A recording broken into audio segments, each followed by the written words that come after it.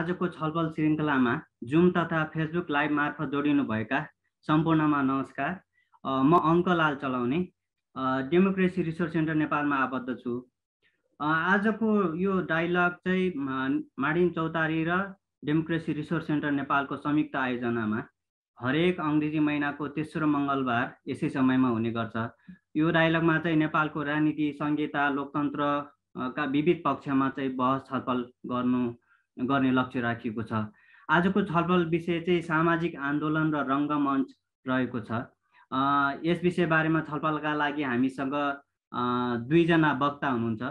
हामीले अरू बेला गरेको भन्दा अलिकति कार्यक्रमलाई अलि अलि छलफललाई रिगोरस बनाउन प्यानल डिस्कसन जस्तो गराउन खोजेको आज। त्यसैले हामीले आजको कार्यक्रमको लागि विषयसँग सम्बन्धित खोज लेखपट गराउनु भएको सहजकर्ताको रूपमा पनि हामीले व्यवस्था गरेका छौँ। मैले चाहिँ सहजकर्ताबाटै सुरु गरेँ। सहजकर्ताको रूपमा हामीसँग आज सबिना श्रेष्ठ हुनुहुन्छ। उहाँ चाहिँ पेसाले पत्रकार सेतो पार्टी डट कममा उहाँ आबद्ध हुनुहुन्छ। उहाँको चाहिँ त्यहाँ लेखिरहेको आफूले पत्रकारिता गरेको चाहिँ बिटको हिसाबले अलिक बढी लेखनको हिसाबले उहाँको कला र संस्कृतिसँग सम्बन्धित विषयमा उहाँले लेखिराख्नु भएको छ। उहाँको रुचि यो रङ्ग मञ्चको अथवा कलासँगको सम्बन्ध त्यसै सम्बन्धित भएको हुनाले उहाँलाई आज सहजकर्ताको रूपमा पनि उहाँलाई व्यवस्था गरिएको हामीसँग विषय वक्ताको रूपमा चाहिँ घिमिरे युवराज हुनुहुन्छ एकजना वक्ता। उहाँ चाहिँ शिल्पी थिएटर समूहको संस्थापक र अहिले यो त्यही संस्थामा चाहिँ कलात्मक निर्देशकको रूपमा पनि हुनुहुन्छ। उहाँ स्तम्भकार नाटककार लेखकको रूपमा पनि हामी चिन्छौँ। उहाँ चाहिँ भौतिक थिएटरमा माहिर उहाँ चाहिँ अलि कमेडी थिएटरको लागि school theatre school of Copenhagen डेनमार्कबाट theatre कोर्समा स्नातक पनि गर्नुभएको छ। उहाँले थुप्रै थिएटर कार्यशालाहरू पनि सञ्चालन गर्नुहुन्छ सडक नाटक प्रदर्शनहरू पनि गर्नुभएको अनुभव उहाँसँग छ। भने त्यसै गरी हाम्रो अर्को वक्ता चाहिँ पशुपति राई हुनुहुन्छ उहाँ चाहिँ आफूलाई रङ्गकर्मीको रूपमा चिनाउन चाहनुहुन्छ भने अहिले उहाँको उहाँ अहिले फ्रिलान्सर रङ्गकर्मीको रूपमा आफू काम गरिरहेको हुनुहुन्छ। मैले अब छलफल विषयको बारेमा धेरै नबोलिकन कार्यक्रम चाहिँ हाम्रो आज सदा चाहिँ दुई चरणको हुनेछ। पहिलो चरणमा हामीले वक्ता विषय वक्तासँग चालिसदेखि पैँचा पैँतालिस मिनटसम्ममा विषयसँग सम्बन्धित छलफल गर्नेछौँ भने त्यो छलफललाई मोडरेट गर्ने काम हाम्रो सबिनाजीले गर्नुहुनेछ। त्यसपछि चाहिँ छलफलको लागि फ्लोर ओपन गरिनेछ। यहाँ जोडिनु भएका र फेसबुक लाइभ हेरिरहनुभएका सहभागीहरूले चाहिँ आफ्ना विषयसँग सम्बन्धित आफ्ना जिज्ञासा प्रश्न टिप्पणीहरू वक्तासँग सोध्न सक्नुहुनेछ भने त्यसपछि चाहिँ हामी कार्यक्रमलाई अन्त गर्नेछौँ। अहिलेको लागि मैले यो कार्यक्रम सबिनाजीलाई ह्यान्डओभर गरेँ। सबिनाजीले विषयलाई अगाडि बढाइदिनुको लागि अनुरोध गर्छु। सबिना सर।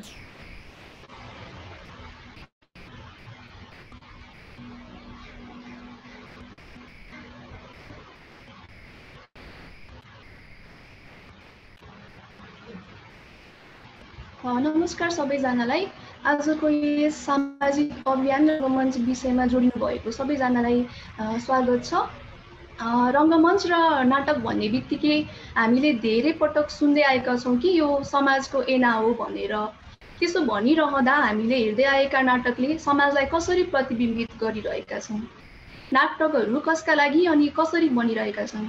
नाटकले उठाउने विषयहरू कति सामाजिक छन् र ती सामाजिक अभियान सँग कसरी जोडिएर आएका छन्? आज हामी यी र यस्तै यावत विषयहरूमा कुराकानी गर्दैछौँ। आजको हाम्रो वक्ताहरू हुनुहुन्छ रङ्गकर्मी घिमिरे युवराज र पशुपति राई। उहाँहरूलाई कार्यक्रममा स्वागत छ। म प्रश्न सुरु हजुर। म प्रश्न सुरु गर्न चाहेँ।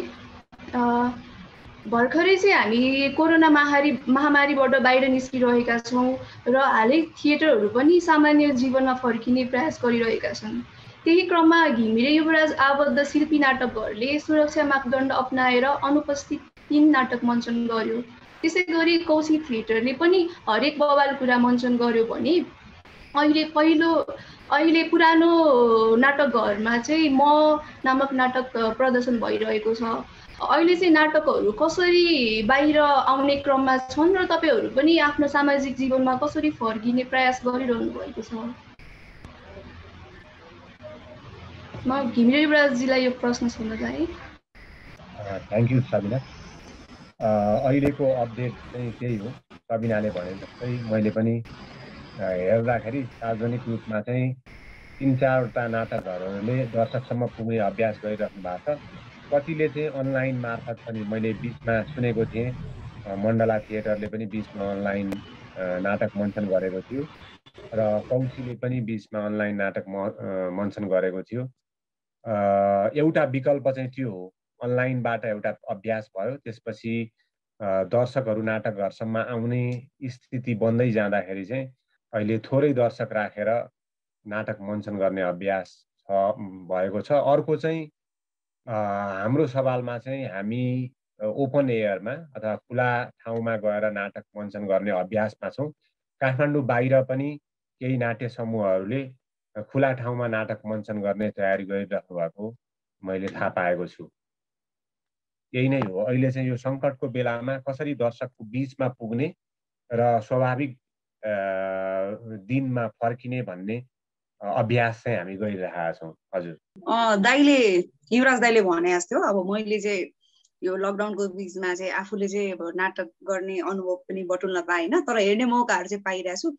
सो हामी रङ्गकर्मीहरूले चाहिँ जस्तो यो लकडाउनमा मात्रै होइन लास्ट इयरको लकडाउनमा पनि धेरैजनाहरूले आफ्नो तरिकाले काम गरिरहनु भएको छ। अनलाइनहरू जस्तो भर्चुअल थिएटर फेस्टिभल पनि भएको थियो जुनमा चाहिँ पुराना नाटकहरू प्रदर्शनहरू भएको थियो भने केही न केही रूपमा केही न केही तरिकाले चाहिँ हामीले चाहिँ आफूलाई चाहिँ कसरी हुन्छ यो रङ्गकर्मलाई चाहिँ कसरी गर्ने अथवा आफूलाई कसरी एक्टिभ राख्ने भन्ने कुराहरू चाहिँ गरिरहेछौँ र यसपालि त झन् अझ राम्रो भयो जस्तो शिल्पीले नाटक गर्यो।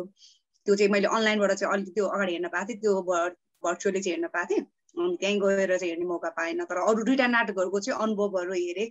जसमा चाहिँ दर्शकहरूको उत्साह देखेर चाहिँ एकदमै खुसी लाग्यो। आफूले पनि नाटक धेरै वर्षपछि हेर्दाखेरि जुन त्यो स्टेजलाई मिस गरिआएर रहेछ होइन? एकदमै अनि एकदमै त्यो सबैजनाले दर्शक हेर्न आउने दर्शकहरू पनि एकदमै धेरै आफू संयमित भएर सबैजना भन्छ नि कसरी बस्नुपर्छ त्यो एकदमै धेरै मास्क लाएर सेनिटाइज गरेर सबै चिजहरूलाई गरेर गर्नुभएको थियो।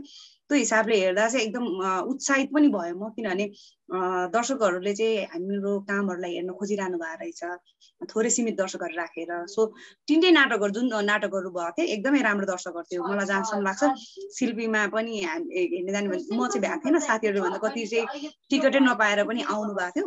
सो भएको हुनाले चाहिँ एकदमै त्यो रमाइलो लाग्दो रहेछ। धेरै पछि हेर्न पाएको थियो मलाई चाहिँ हेरेको अनुभव छ आफूले चाहिँ गरेको चाहिँ अनुभव गर्न पाइनँ। त्यही हो। चाहिँ पशुपतिजीलाई क्वेसन सोधिराखेको थिएँ। तपाईँ चाहिँ अहिले गोग्राहा फिल्म फेस्टिभलमा पनि आबद्ध भइराख्नु भएको देखिरहेको थिएँ अनि के हो भनेर। ए अँ त्यो गोग्रा त्यो गोग्रा फिल्मले चाहिँ त्यो स्क्रिप्ट राइटिङ सम्बन्धी आवेदनहरू मागिरहनु भएको छ आवेदकहरू मागिरहनु भएको छ। सो त्यो भएको हुनाले मैले त्यो त्यही हो हामीलाई चाहिँ काम गरिराख्ने मान्छेले काहीँ न काहीँ काहीँ न केही के के गरिरहनु मन लागिरहेको रहेछ अनि मैले पनि आफूले नाटकहरू निर्देशन गर्दाखेरि स्टोरीहरूलाई त्यो कसरी त्यसलाई ड्रामाटाइज गर्ने त्यो चिजहरू चाहिँ एकदमै मलाई जहिले पनि खड्किरहेको हुन्थ्यो। सो मैले चाहिँ त्यो एउटा स्क्रिप्ट राइटिङको लियो भने चाहिँ मलाई नै आफूलाई काम लाग्छ भनेर मैले त्यसमा एप्लिकेसन दिएको थिएँ। अनि त्यसमा म छनौट छु। अनि अस्ति भर्खर स्याटरडेदेखि एउटा क्लास सुरु भएको छ। त्यो आफूलाई कसरी इङ्गेज राख्ने नयाँ कुरा कसरी सिक्ने भन्ने कौतलताले नै हो मैले त्यहाँनिर जोइन गरिरहेको। तपाईँले भन्दै हुनुहुन्थ्यो म चाहिँ मण्डलासँग आबद्ध छु भनेर। म कुनै पनि संस्थासँग अहिले आबद्ध छैन। मण्डलासँग चाहिँ मैले धेरै काम गरेको हुनाले चाहिँ त्यस्तो लाग्न सक्छ होइन? मैले शिल्पीसँग नि काम गरेको छु मिलेर धेरैसँग। म अहिले चाहिँ फ्रिलाइन्सर भन्न रुचाउँछु र अहिले हामीले भर्खर एउटा गुरुकुल नाट्यालय भनेर समूह चाहिँ खोलेको छ त्यसले काम चाहिँ सुरु गरिसकेको छ होइन सो मैले आबद्ध चाहिँ छैन। सबिनाजीले चाहिँ अहिले रङ्गकर्मले कसरी सामाजिक आन्दोलनलाई सहयोग पुर्याइरहेको छ भन्नुभयो होइन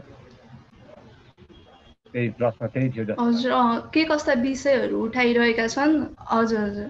अब मैले हेर्दाखेरि चाहिँ हामीले छान्ने विषय पनि र अरू धेरै नाटकहरूमा नाटक मञ्चन हुँदाखेरि हेर्न जाँदाखेरि कुनै न कुनै रूपमा अहिले हामीले समाजमा भोगि भोगिरहेका कथावस्तु नै छन्। एकदमै विशुद्ध रूपमा मनोरञ्जनको नाटकहरू मात्रै छैनन् जस्तो मलाई के लाग्छ भने हिजो सरकारी घरहरूमा नाचघरमा अथवा एकाडेमीमा मञ्चन हुने एक खालको नाटकहरू थिए कि। सरकारले सहयोग गरेर निर्माण भएका नाटकहरूमा चाहिँ सरकारलाई नै आलोचना गरेर अथवा सत्तालाई आलोचना गरेर अथवा नागरिकको दुःखलाई एउटा प्रश्नको रूपमा राखेर चाहिँ नाटक मञ्चन हुँदैन थियो। अब निजी क्षेत्रका नाट्य संस्थाहरू जसरी अहिले बनेका छन् उनले चाहिँ जहिले पनि नागरिकको कुरा नै उठाउँछन् जस्तो लाग्छ। आम मानिसको दुःखको कुराहरू। अब यो चाहिँ धेरै पाटाहरू छन् आयामहरू छन्। कहिलेकाहीँ जातीय हिंसाको विषयमा पनि नाटक बनेको छ। कहिलेकाहीँ यो सांस्कृतिक विभेदका बारेमा पनि नाटक बनेको छ। अनि कहिलेकाहीँ यो बेरोजगारी अथवा माइग्रेसन सम्बन्धी पनि नाटक बनेको छ होइन? अब सिधै राजनीतिको विषयमा पनि जस्तो कि लोकतन्त्रको विषयमा पनि नाटक बनेको छ। कहिलेकाहीँ नाटक को कथा वस्तुले न नपुगेर रङ्गकर्मीहरू सडकमा गएको उदाहरण पनि छ। त्यो छ्यालिस सालमा पनि थियो बैसठी त्रिसठीमा पनि थियो। अहिले यो नागरिक आन्दोलनमा पनि रङ्गकर्मीहरू प्रत्यक्ष रूपमा सडकमै गएर नाटक मञ्चन गरिरहेछन्। जस्तो गोविन्द केसीले उठाउनु भएको स्वास्थ्य क्षेत्रको मागमा होस् अथवा उखु किसानहरू जो पीडामा छन् थिए काठमाडौँमा धर्ना दिँदाखेरि त्यहाँ पनि नाटक मञ्चन भएको छ र थारूहरूले उठाएको माग मुद्दामा पनि सडकमा नाटक भएको छ।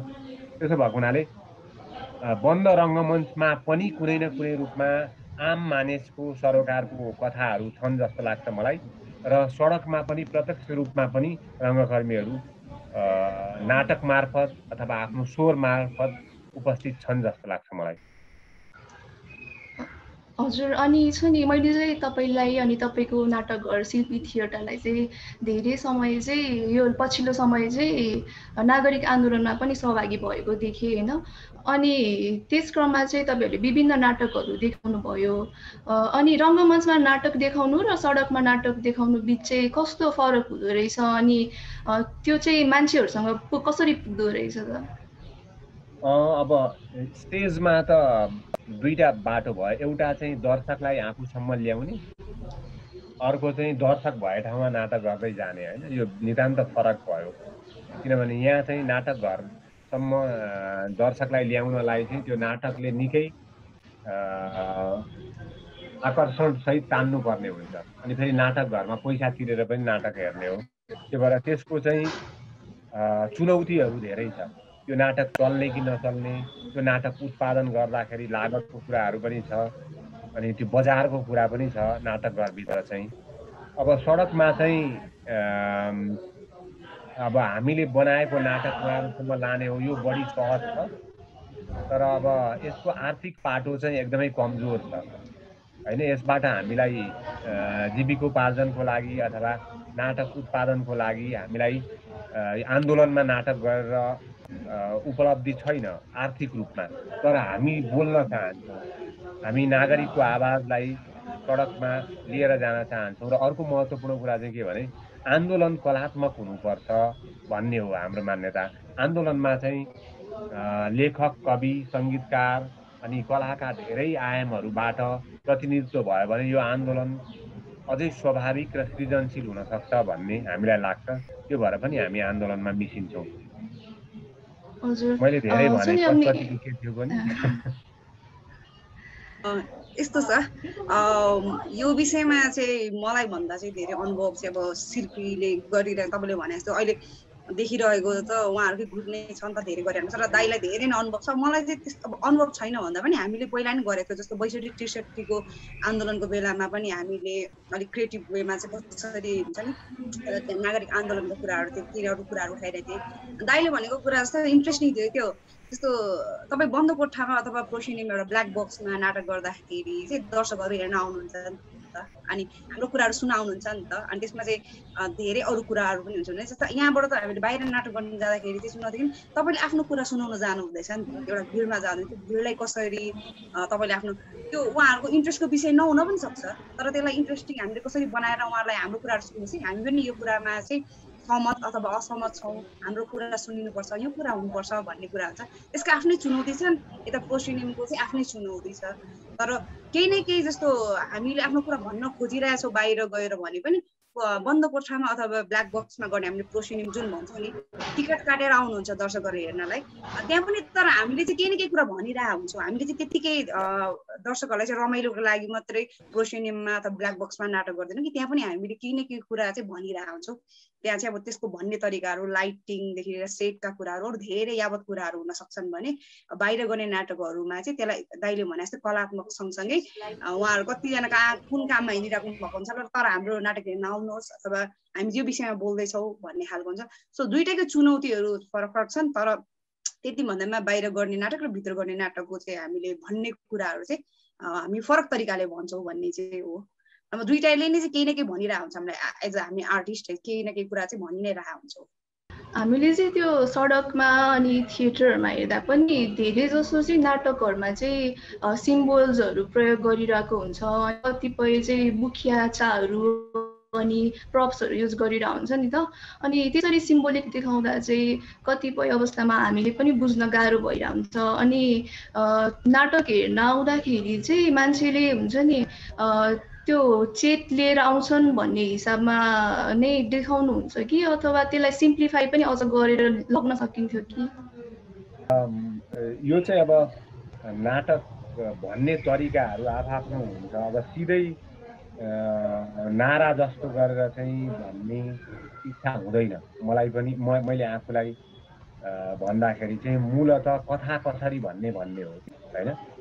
त्यही कथा त्यही दुःखको कुरा अथवा यही समस्या आम मान्छेका कुरा नेताहरूले बदमासी गरेको कुरा शक्तिमा गइसकेपछि चाहिँ शक्तिको दुरुपयोग गरेको कुरा खासमा भनेको दैनिक रूपमा हामी देखिरहेका सुनिरहेका छौँ।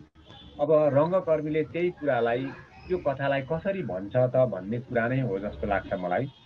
किनभने त्यही कुरा रेडियोमा पनि आउँछ त्यही कुरा पत्र पत्रिकामा पनि आउँछ। अथवा त्यही कुरा कुनै साहित्यिक किताबमा पनि हुन्छ तर रङ्गकर्मीले त्यसलाई कसरी देखाउँछ? त्यो भएर कहिलेकाहीँ सधैँ भए त त्यस्तो हुँदैन तर सिम्बोलिक रूपमा तपाईँले जे भन्नुभयो कहिले बुख्याचा होला कहिले मास्क होला कहिले कपडाहरू प्रयोग भएको होला कहिले डिफ्रेन्ट खालको इमेजहरू प्रयोग गरेको होला। यो चाहिँ एउटा कथा भन्ने तरिका हो। अनि दर्शक चाहिँ दर्शक चाहिँ मेरो विचारमा चाहिँ मलाई के लाग्छ भने दर्शकले बुझ्ने अथवा नबुझ्ने भन्ने हुन्न। हामी दर्शकलाई चाहिँ क्याटेगोरी छुट्याएर यो बाठो दर्शक अथवा नजान्ने दर्शक बुझ्ने दर्शक नबुझ्ने दर्शक भन्दैनौँ। हाम्रो लागि सबै दर्शकहरू उत्तिकै सम्मानित हुनुहुन्छ। अनि हामीलाई के लाग्छ भने आफ्नो अनुभव अनुसार दर्शकले हामीले देखाएको इमेजलाई चाहिँ परिभाषित गर्ने हो। अनि त्यो परिभाषा गर्ने ठाउँ नै रङ्गमञ्च हो जस्तो लाग्छ कि दर्शकले आफ्नो तरिकाले रङ्गमञ्चलाई अर्थ्याउन पाउनुहोस् अनि हामीले नाटक देखाइसकेपछि पनि बाहिर आएर मैले चाहिँ त्यो बुख्याचार यही कारणले प्रयोग गरेको म भन्दिनँ। किनभने त्यो चाहिँ अब मैले देखाइ त सकेँ। देखाएको कुरा फेरि दर्शकलाई आएर बाहिर वर्णन गर्नुको त कुनै अर्थ भएन। त्यो भएर नाटक आफैमा सृजनात्मक काम हो भने दर्शक मिसिएपछि त्यो सृजनात्मक कामको पूर्णता हुन्छ। किनभने दर्शकले हामीले देखाएको इमेजेसहरूलाई दृश्यहरूलाई परिभाषित गर्नुहुन्छ र उहाँहरू पनि त्यो सृजनात्मक अभियानमा मिसिनुहुन्छ जस्तो लाग्छ। अनि चाहिँ नि सडकमा अहिले निरन्तर नाटकहरू देखाइरहनु भएको छ। अनि सडकमा चाहिँ अहिले पोलिटिकल मान्छेहरू पनि आइरहनु भएको छ। अभियान अभियान कर्मीहरू पनि आइरहनु भएको छ नि त। अनि त्यस्तोमा चाहिँ कलाको माध्यमहरू चाहिँ किन आइरहनु परेको? यो त उनीहरूको काम हो नि भन्ने जस्तो पनि हुन्छ कि हुँदैन? कस्तो हुन्छ? यो त कसको काम हो र? जस्तो हामी पनि कलाकार मैले रमाइलो गरेँ तर मैले भनेको साँच्चै भन्दाखेरि पनि हामी त नागरिक हो नि त होइन? एउटा नागरिक काहीँ न काहीँ अर्को पेसामा पनि आबद्ध छ होला। तर राज्यमा अथवा देशभित्र केही अप्ठ्यारा स्थितिहरू आएका छन् व्यवस्थाले राम्रो काम गरिरहेको छैन भने त एउटा नागरिकको रूपमा जसले पनि प्रश्न उठाउने हो जस्तो लाग्छ। ऊ कलाकार हुनसक्छ ऊ लेखक हुनसक्छ ऊ पत्रकार हुनसक्छ ऊ व्यवसायी हुनसक्छ तर उसलाई चित्त बुझेन। व्यवस्थामा गडबडी छ। हामीले लोकतान्त्रिक भनिरहेको व्यवस्था झन् अराजक भइरहेछ भनेर हरेक मान्छेले आफ्नो सिप अनुसार आफ्नो क्षमता अनुसार आफ्नो स्वर अथवा औजार अनुसार सडकमा आउनुपर्छ बोल्नुपर्छ जस्तो लाग्छ। किनभने जहिले पनि खबरदारी गर्ने प्रतिपक्ष चाहिन्छ जस्तै लोकतान्त्रिक मुलुकमा खबरदारी गर्ने एकदमै शक्तिशाली सर्जकहरू प्रतिपक्षमा बस्नुपर्छ जस्तो लाग्छ। त्यसो भएर यो हाम्रो पनि काम हो। यो एउटा सर्जकको पनि काम हो जस्तो लाग्छ। पशुपतिजी चाहिँ अहिले धेरै जसो फोरम थिएटर अनि प्लेब्याकहरूमा पनि लाग्नु भएको छ नि त। अनि यो यो फोरम थिएटर अनि प्लेब्याकहरू भनेको चाहिँ के हो? अनि त्यो चाहिँ झन् मान्छेहरूसँग डाइरेक्टली कनेक्ट हुन्छ नि त। अनि त्यो चाहिँ कसरी हुन्छ त्यो कस्तो हो बताइदिनु न? फोरम चाहिँ गर्न थालेको चाहिँ धेरै भयो। मैले प्लेब्याक चाहिँ धेरै गरेको छु होइन ट्रेनिङ ल्याएको थिएँ त्यसपछि मैले दुई तिनवटा सोभन्दा बढी गरेँ होइन। अब यो चाहिँ अब अलिकति अन्तर्क्रियात्मक हुन्छ भनौँ न दर्शकहरूसँग चाहिँ यसमा चाहिँ दोहोरो वार्ता हुन्छ होइन उहाँको कुराहरू दिन्छ। फोरममा चाहिँ भन्नुपर्दा चाहिँ विशेष गरेर एउटा समस्या लिएर गइहाल्छ। अनि त्यो समस्याको समाधान चाहिँ एउटै मात्र हुँदैन किनभने हामी फरक परिस्थिति फरक ब्याकग्राउन्डबाट आएका मान्छे फरक हुर्काइबाट आएको मान्छेहरूसँग त्यसको सल्युसन चाहिँ फरक तरिकाले आउन सक्छ। अनि त्यो कुरा चाहिँ एउटै चिजको चाहिँ एउटै नै चाहिँ त्यसको उत्तर हुँदैन अथवा सल्युसन हुँदैन समाधान हुँदैन भन्ने यो प्र्याक्टिस पनि हो र अनि हरेक कुराको चाहिँ समाधानहरू चाहिँ धेरै तरिकाले आउन सक्छ धेरै तरिकाले गर्न सक्छ।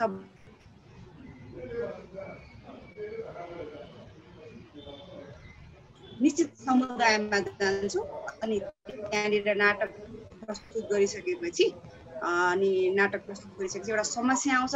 समस्यामा रोकिएपछि एकजना सूत्रधार हुन्छ जसले चाहिँ नाटकको बिचमा आएर दर्शकसँग चाहिँ इन्टरेक्सन गर्नुहुन्छ। अनि एउटा ठाउँमा भएको समस्याको चाहिँ समाधान के हुनसक्छ भनेर दर्शकबाट नै हामीले उत्तर खोज्छौँ। अनि त्यो चिजलाई चाहिँ फेरि हामीले कलाकारलाई चाहिँ ल उहाँले यस्तो भन्नुभयो यो समस्याको समाधान यो हुनसक्छ कि भनेर चाहिँ गरेर हेरौँ न भनेर प्र्याक्टिस गर्छौँ। हामी नाटकमा प्र्याक्टिस गर्छौँ। अनि धेरै प्र्याक्टिसहरू धेरै समाधानका कुराहरू आउँछन्। अनि त्योबाट चाहिँ के जस्तो देखिन सक्छ भने हामीसँग भएको एउटै समस्याको एउटै समाधान हुनुपर्छ भन्ने छैन। यसका विभिन्न तरिकाले विभिन्न कुराहरू समाधान गर्न सकिन्छ भन्ने खालको एउटा त्यसले चाहिँ एउटा के भन्छ माप अथवा त्यो फर्मले चाहिँ अलिकति फराकिलो सोच्नुपर्छ अथवा फराकिलो सोच हुनसक्छ भनेर देखाउन सक्छ भने प्लेब्याकले चाहिँ अब एम्पेथीको कुरा गर्छ होइन भनेको समानुभूतिको कुरा गर्छ कि तपाईँलाई पनि त्यस्तो भएको कुनै पनि जस्तो घटनाको कुराहरू हुन्छ त्यहाँनिर कथाका कुरा सानो सानो इन्सिडेन्टहरू कुरा अनुभवका कुराहरू हुन्छन्। त्यो चाहिँ तपाईँलाई कस्तो भइरहेछ भन्ने कुरा त्यो मलाई चाहिँ त्यही भावना अथवा त्यही घटनाले चाहिँ मलाई कस्तो महसुस हुन्छ त? त्यो चिजहरू चाहिँ कलाकारहरूले गरेर देखाउनुहुन्छ। होइन त्यो समानुभूति जस्तो उहाँलाई जस्तो भएको छ त्यो त्यही नहुन सक्छ तर पनि एक खालको समानुभूति चाहिँ हामीले महसुस गर्न सक्छौँ नि।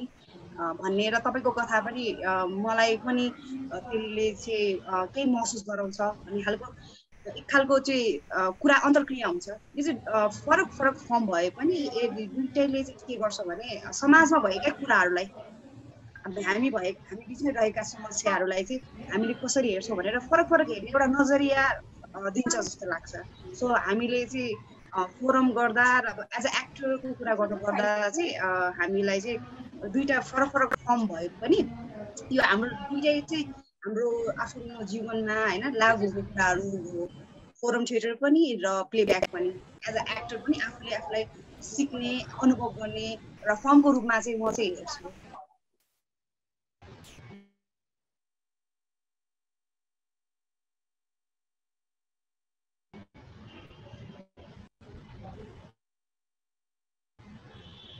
विभिन्न रङ्गमञ्चका विभिन्न आयाममध्ये यो पनि एक एउटा चाहिँ आयाम भयो। तपाईँ चाहिँ आदिवासी जनजाति समुदायलाई पनि रिप्रेजेन्ट अनि तपाईँले पाउने क्यारेक्टरहरू पनि तपाईँकै कम्युनिटीको धेरै पाउनुहुन्छ कि अरू समुदायको पनि पाइरहनु भएको छ?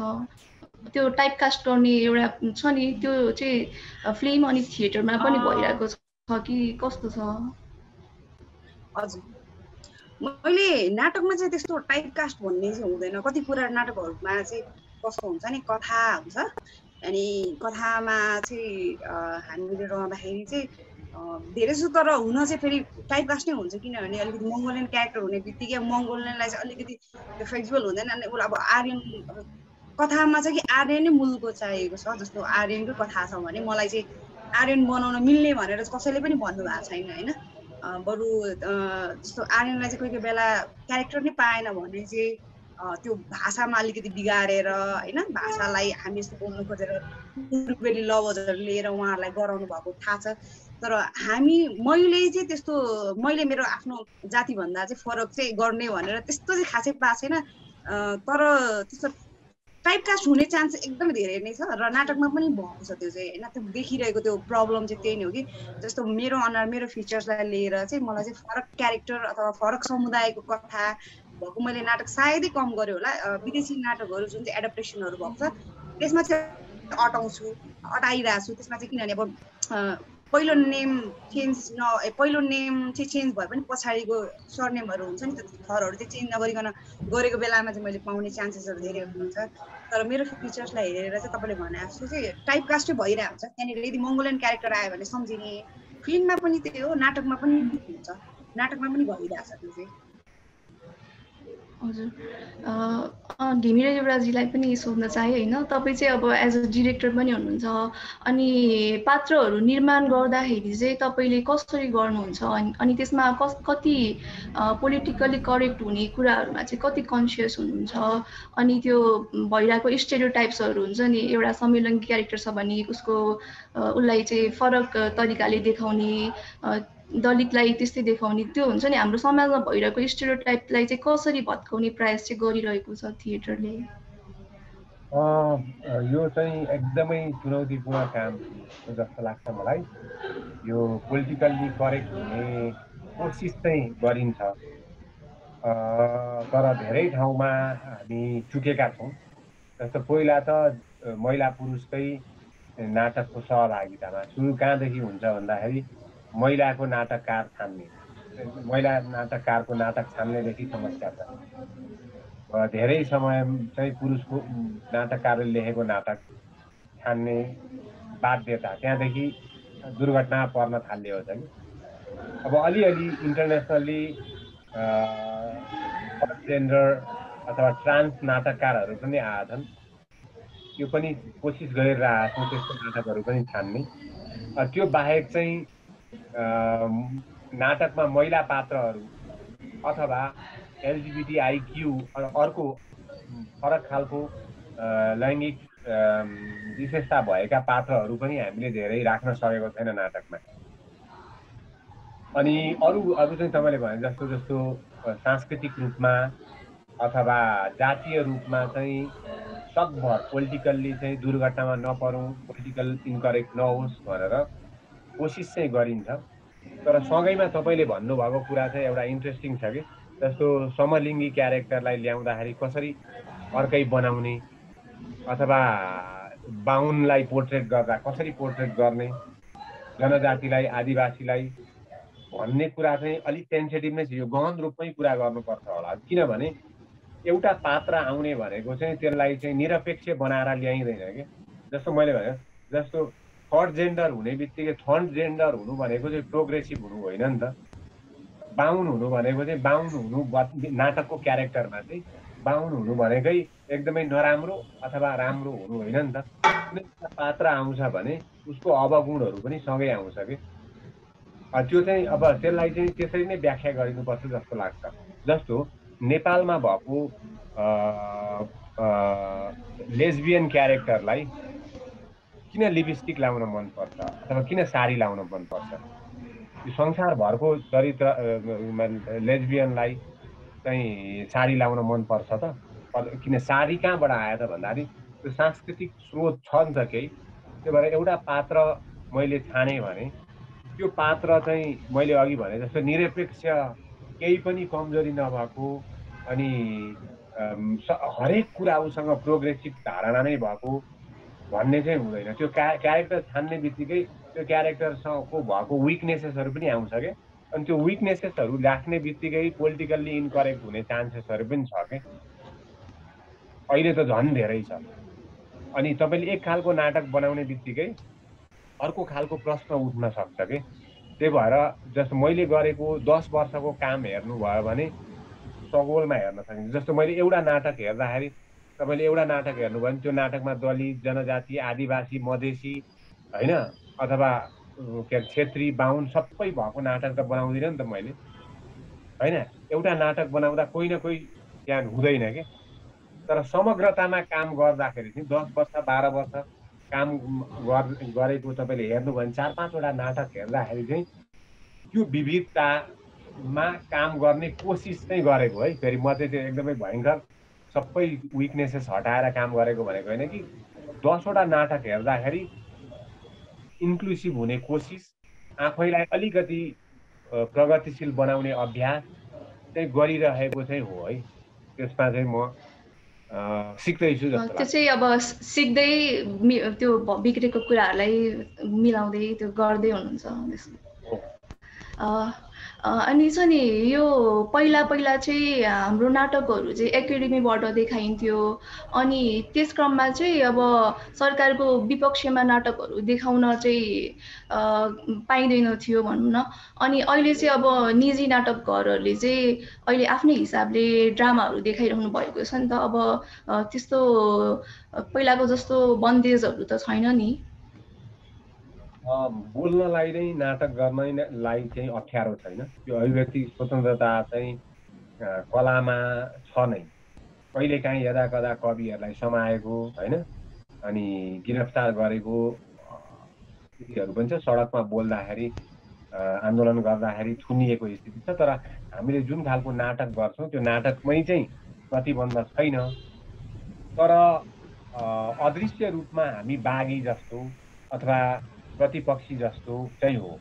जस्तो राज्यले नहेर्ने अथवा यिनीहरू चाहिँ हाम्रो दुश्मन हो जस्तो व्यवहार गर्ने जो सत्तामा छ उसको लागि चाहिँ हामी एक किसिमको प्रतिपक्षी अथवा दुश्मन नै हो कि भनेको हामीले गरिरहेको काम चाहिँ आम नागरिकको हितमा छ अथवा प्रश्न गर्नु उनीहरूको अधिकार हो भन्ने प्रवृत्तिले चाहिँ राज्य सत्तामा बसेको मान्छेले हेर्दैन। त्यो चाहिँ जहिले पनि भएकै छ। त्यो भएर पाउने अनुदान पनि नदिने अथवा सहयोग गर्ने ठाउँहरूमा पनि राज्यले सहयोग नगर्ने कारण चाहिँ त्यही हो। यिनीहरू चाहिँ हाम्रो दुश्मन नै हुन्। ए पक्ष सडकमा गएर बोल्ने अथवा हाम्रो मा हाम्रो काममाथि प्रश्न उठाउने भन्ने चाहिँ मैले धेरै ठाउँमा सुनेको छु। भलै त्यो एकदमै माइल्ड टोनमा होस् उहाँहरूले हाँसेर भन्नुहोस् तर सत्तामा बसेका मान्छेहरूलाई हामी मन पर्दैन महसुस गरे पशुपतिजी पनि केही एड गर्न चाहनुहुन्छ यही कुरामा एड दाइले भन्दाखेरि कस्तो इन्ट्रेस्टिङ पनि छ क्या। हामीलाई चाहिँ जस्तो अरू बेलामा चाहिँ गरिरहेको कामहरू हाम्रो कामहरूको मूल्याङ्कन नगर्ने केही होइन। रङ्गकर्मीहरू त भने जस्तो पनि जब अनि अलिकति केही गर्नु पऱ्यो भने चाहिँ पावरफुल चाहिँ यिनीहरू नै हुन्छन् भनेर पनि प्रयोग पनि हामी नै धेरै भइरहेको हुन्छौँ यो कुरा पनि सत्य जस्तो अस्ति नै कान्तिपुरमा एउटा सम्पादकीय थियो धेरैजनाले सेयर गर्नुभयो मैले पनि हेरेँ पढेँ अनि सेयर गरेँ। हामी सबैजनाको लागि त्यो कस्तो खुसीको एउटा एउटा लेखले एउटा सम्पादकीय कान्तिपुर नेपालको एकदमै प्रसिद्ध पत्रिका। उहाँको एउटा सम्पादकीय आउँदाखेरि पनि खुसी हुनुपर्ने स्थिति। त्यहाँ के थियो भन्दाखेरि नाटक गर्ने मान्छेहरूको बारेमा थोरै बोल्नु भएको थियो उहाँले चाहिँ। त्यो बेलामा चाहिँ कहाँ छ त? सङ्गीत नाट्य एकाडेमी जसले उनीहरूले आफ्नो तरिकाले गरिरहेछ उनीहरू लागि परिरहेछन् अनि यस्तो सरकारले उनीहरूलाई नहेरी अथवा एक किसिमको उत्साह नदे भन्ने खालको थियो। त्यत्रो सानो कुरामा हामी यति धेरै खुसी हुनुपर्ने स्थिति छ क्या। भनेपछि यसो हेर्दाखेरि पनि हामी दाइले भने जस्तै हुन्छ। तिमीहरू कुनै कुनै बेला लाग्छ कि तिमीहरू केही होइनौ भने जस्तो फिल पनि गराउँछन्। अनि जब केही चिज पर्छ तिमीहरू चाहिँ भयङ्कर हो है ल। तिमीहरू चाहिँ चाहे तिमीहरूको अगाडि तिमीहरूले यति मात्रै गर तिमीहरूको कलात्मक चिजले चाहिँ यति प्रभाव पार्छ भन्ने। त्यो बेलामा हामीलाई दुइटै चिज भइरहेको हुन्छ क्या मलाई चाहिँ जहिले पनि। अँ हाम्रो सानो सानो कामले पनि कस्तो धेरै महत्त्व प्रभावपूर्ण छाप छोड्दो रहेछ भने जस्तो फिल हुन्छ अनि कोही कोही बेलामा चाहिँ त्यो भइ पनि रहेको हुन्छ कि हाम्रो कामलाई चाहिँ त्यति महत्त्वको साथ हेर्ने हो भने चाहिँ किन त भन्ने क्वेसनहरू पनि आइरहेको हुन्छ क्या। सो ती चिजहरू त भइ नै रहेको हुन्छ अनि त्यही दाइले भन्दाखेरि इन्ट्रेस्ट त्यो सम्झिरहेको थिएँ मैले सम्पादकीय सम्झिँदा कति खुसी भइरहेको थियौँ किनभने हामी सबैजनालाई सेयर गरेर एकअर्कामा भेला भएर कुरा गरेको थियौँ एउटा सम्पादकीयले कि त्यो कुराले चाहिँ हामीलाई राज्यले कसरी हेर्दछ अथवा कसरी हामीले महत्त्व दिँदो रहेछ त भन्ने कुरा किन एउटा सानो कुरालाई हामी धेरै खुसी भइरहेको भनेपछि हामी त हामी त हामी आफ्नो रङ्गकर्म हाम्रो कर्म त कसरी गरिरहेछौँ हामी त लागि परिरहेछौँ। अनि त्यो कुराहरू चाहिँ सबै धेरैजनालाई थाहा भएको कुरा हुन्छ कसरी उहाँहरूले हामीलाई जस्तो हेर्नुपर्ने ठाउँबाट निकायबाट के भइरहेको छ भन्ने कुरा त्यहाँबाट स्पष्ट हुन्छ जस्तो लाग्छ मलाई चाहिँ। हजुर। अनि हामीले चाहिँ यो सामाजिक अभियान र यो सामाजिक मुद्दाहरूको कुरा गरिरहँदा चाहिँ हाम्रो चाहिँ डेली लाइफमै यति धेरै सामाजिक घटनाहरू भइरहेका हुन्छन् अनि एक थरी दर्शकहरू चाहिँ हुन्छन् कि उहाँहरूले चाहिँ भन्नुहुन्छ फेरि नाटक गएर चाहिँ नाटक घरहरू गएर चाहिँ त्यही कुरा हेर्नु अलि रमाइलो कुरा हेर्नु न अनि यही समाजमा भो भोगिरहेकै कुराहरू नै चाहिँ तपाईँहरूले किन देखाइरहनु भएको छैन हुन्छ नि? अब उनीहरूले त अलिकति आफ्नो हेक्टिक लाइफबाट अलिक रमाइलो कुरा हेरौँ भन्ने पनि हुन्छ नि त कति त। हो। त्यो भएर पनि मेरो चाहिँ रङ्गमञ्च समाजको ऐना हो भन्ने तर्कमा सहमति छैन। रङ्गमञ्चले सधैँ समस्या मात्रै देखाउँदैन। त्यो त अहिले हामीले एक खालको कुरा गऱ्यौँ। सामाजिक आन्दोलनमा रङ्गमञ्च भन्ने विषयमा बसेको हुनाले त्यही विषयमा मात्रै घुम्यौँ। रङ्गमञ्चले तपाईँले भने जस्तो प्रब्लममा मात्रै नबसेर कहिलेकाहीँ कस्तो हुनुपर्छ ड्रिम पनि देखाउँछ। सपना पनि यस्तो छ मात्रै होइन कि? कस्तो हुने भन्ने पनि देखाउँछ। अनि कतिपय अवस्थामा कल्पनातीत तपाईँले भने जस्तो फेन्टासीहरूमा जाने होइन? कलात्मक कुराहरूलाई चाहिँ कल्पनातीत संसारमा लगेर अनि मान्छेहरूलाई आफ्नो दुनियाँबाट मुक्त गराएर बाहिर पनि लान्छ। त्यो भएको हुनाले भेरिएसन छ। अनि तपाईँ एक वर्षमा दुईवटा नाटकहरू समस्या केन्द्रित भयो भने अरू दुईवटा नाटकहरू फरक खालको पनि भइरहेको छ। तपाईँले हेर्नुभयो भने शिल्पीमै मञ्चन भएको नाटकहरू पनि। अनि आफ्नो ऱ्याडरभन्दा आफ्नो पेरिफेरीबाट त्यही भएर भनेको यो कस्तो रमाइलो कुरा गर्नुभयो तपाईँले सबिनाजी। अनि कहिले के भन्छ हामी एक खालको तर्क आउँछ फेरि। हाम्रो कथाहरू छैनन्। खालि के अरे बाहिरको कथा खोज्ने। अनि एउटा तर्क पनि के छ भने हाम्रै ऱ्याडरमा मात्रै हाम्रै दुःखको कुरा मात्रै देखाइराखौँ न भन्ने पनि चाहना कतिको छ क्या हामी अनि हामी हाम्रो भन्दा बाहिरको एउटा किसानले व्यापारीको कथा हेर्ने कि नहेर्ने? एउटा व्यापारीले प्रोफेसरको अथवा विद्यार्थीहरूको कथा हेर्ने कि नहेर्ने? अनि कहिलेकाहीँ हामी विदेशी कथाहरू पनि लिएर आउँछौँ क्या फरक लोसे लोकेसनको कथाहरू विषयहरू हेर्नको लागि। त्यो भएर तपाईँको कुरामा म सहमत छु। हाम्रो आफ्नै समस्या मात्रै दैनिक जीवनको कुरा मात्रै रङ्गमञ्चले देखाउने होइन। कहिलेकाहीँ कस्तो हुनुपर्छ? भन्ने अनुमान अथवा कहिलेकाहीँ कल्पनातीत दृश्यहरू पनि रङ्गमञ्चले देखाउनुपर्छ र देखाएको छ जस्तो लाग्छ मलाई। हजुर हाम्रो यो अब के भन्न खोज्नु भएको हो त्यही दाईको कुरामा जोड्न मन लागेको कुरा चाहिँ जस्तो हामीले फरक फरक तरिका जस्तो भन्दाखेरि अहिले यही लकडाउनको कुरामा जस्तो दाईले कुरा गर्नुभयो। रङ्गमञ्चले चाहिँ नाटकले चाहिँ जहिले हाम्रै वरिपरि भएका दुःखहरू मात्र होइन क्या। यो भित्रका जस्तो रङ्गमञ्चले स्पिरिचुअलसँग एउटा नजिक रहेर पनि काम गरिरह जस्तो फिल हुन्छ क्या। मलाई अहिले भर्खरै जस्तो दाइकै नाटकमा नो एक्जिटकै कुरा गर्दाखेरि त्यसको सुनिश्चित हेर्दा मैले अनलाइन हेर्दाखेरि अस्तित्ववादको कुरा होइन। वादको कुराहरू छ त्यो ती भनेको मान्छेले आफैले स्व अध्ययन गर्ने चिजहरू कति कुराहरू चाहिँ उहाँले गएर नाटकमा पनि पाउनुहुन्छ त्यहाँ गएर आएर फेरि त्यो आफैले स्व अध्ययन पनि गर्नुहुन्छ होला। होइन त्यो कुराहरू पनि छन्। धेरै त्यसमा चाहिँ हाम्रो समाज दाइले भने जस्तो समाजै भएको दुःख दुःख मात्रै होइन क्या। तपाईँले चाहिँ आफ्नो आफ्नो एक्जिस्टेन्सको कुरामा पनि त्यसमा पनि एउटा स्पिरिचुअली पनि त मान्छेले फरक तरिकाले सोच्छ होला नि त। म को म किन भन्ने कुराहरू ती कुरा छ। हामी चाहिँ रङ्गमञ्चमा स्पिरिचुअल यो के भन्छ यो चिजहरू पनि पाउन सक्छ। जस्तो अहिले नाटक त्यो के भन्छ हरेक कुरा बबाल भन्ने कुरा जस्तो म पनि हेरेँ मैले। यी तिनटै नाटकहरूमा चाहिँ कस्तो कोइन्सिडेन्ट मलाई चाहिँ त्यस्तो लागेको त्यसमा चाहिँ धेरै कुराहरू चाहिँ अस्तित्वको कुराहरू क्या। हामी आफ्नो अस्तित्वको कुरा अनि अनि स्पिरिचुअल कुराहरू पनि भेटेँ होइन? सो हाम्रो भइरहेको रङ्गमञ्चले चाहिँ होइन हाम्रै हाम्रै वरपरका दुःखहरू तर त्यो कुराहरूलाई पनि फरक तरिकाले भन्ने कुराहरू होइन। त्यो समाजमा भएका धेरै कुराहरू अस्तित्वको कुरा छ स्पिरिचुअलको कुराहरू छ आफ्नो के भन्छ अस्तित्व सँगसँगै आफ्ना संस्कृतिका कुराहरू पनि छ। धेरै कुराहरू पनि बोलिरहेको हुन्छ कि न कि हामी चाहिँ धेरै दुःखका कुराहरू मात्रै ल्याउने होइन। फरक जस्तो दाईहरूले शिल्पीले गरेका छ माइम पेन्टो माइमका कुराहरू छ फरक। त्यसमा पनि समाजकै कथा छ तर त्यो कथालाई चाहिँ कसरी भन्ने त? कुन माध्यमबाट भन्ने अथवा कुन फर्मले भन्ने त भन्ने पनि छ नि त्यहाँ। रमाइलो सँगसँगै नयाँ कुरा पनि छ नि त। पेन्टो माइम जस्तो अस्ति भर्खरै पनि खुब चर्चा बटुल यो सोसियल मिडियामा माइम पेन्टो माइम बुझेन भनेपछि मान्छेले मलाई जहाँसम्म लाग्छ त्यसपछि माइम र पेन्टो माइमको बारेमा कतिजनाले हामी रङ्गकर्मीहरूले नि कति खोज्ने प्रयास गर्यौँ के हो त भनेर कुराहरू। भनेपछि आर्ट भनेको त्यो एउटा चाहिँ त्यसको चाहिँ दायरा चाहिँ यति ठुलो बनाइदिँदो रहेछ कि मान्छेलाई सो अध्ययन गर्न पनि बाध्य बनाउने चिज हो क्या यो चाहिँ एउटा माध्यम हो। सो त्यतिखेर त्यो माइमको कुराहरू पेन्टो माइमको कुराहरू आफै दर्शकहरू बिच पनि त्यहाँनिर ठुलो बहस सृजना गरेको थियो सानो एउटा त्यहाँभित्र त्यो जस्तो अब सोसियल मिडियामा एउटा घटना नभनौँ त्यस एउटा भएको थियो त्यो कुराले कति ठुलो माहौलमा बहस भइरहेको थियो क्या। रङ्गकर्मीहरूले पनि ए हामीले माइम के हो पेन्टो माइम के हो बुझ्नुपर्छ भन्ने जस्तो कुराहरू पनि थिए। सो रङ्गमञ्च जहिले पनि दुःखका कुरा समाजमै घटेका कुरा त्यही कुराहरू मात्रै ल्याउँदैन क्या। आर्टले चाहिँ अथवा रङ्गमञ्चले नाटकले चाहिँ केही न केही कुरा नयाँ नयाँ कुराहरू पनि ल्याइरहेको हुन्छ तर दाइले भने जस्तै एक दुईवटा नाटकले चाहिँ हाम्रै वरपर कथा पनि भन्नै पर्छ। हाम्रो आफ्नो समाजको कथा नभन्ने नेपाली कथा नभन्ने कहाँ हुन्छ भन्ने कुराहरू पनि छ त्यो भएको हिसाबले चाहिँ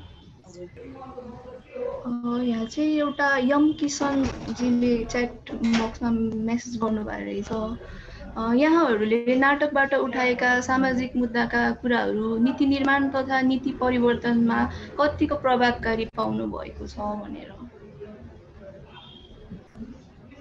सँगै प्रदीप भण्डारी पनि भन्नेवाला समेट्ने ए समेट्ने अर्को क्वेसन ए।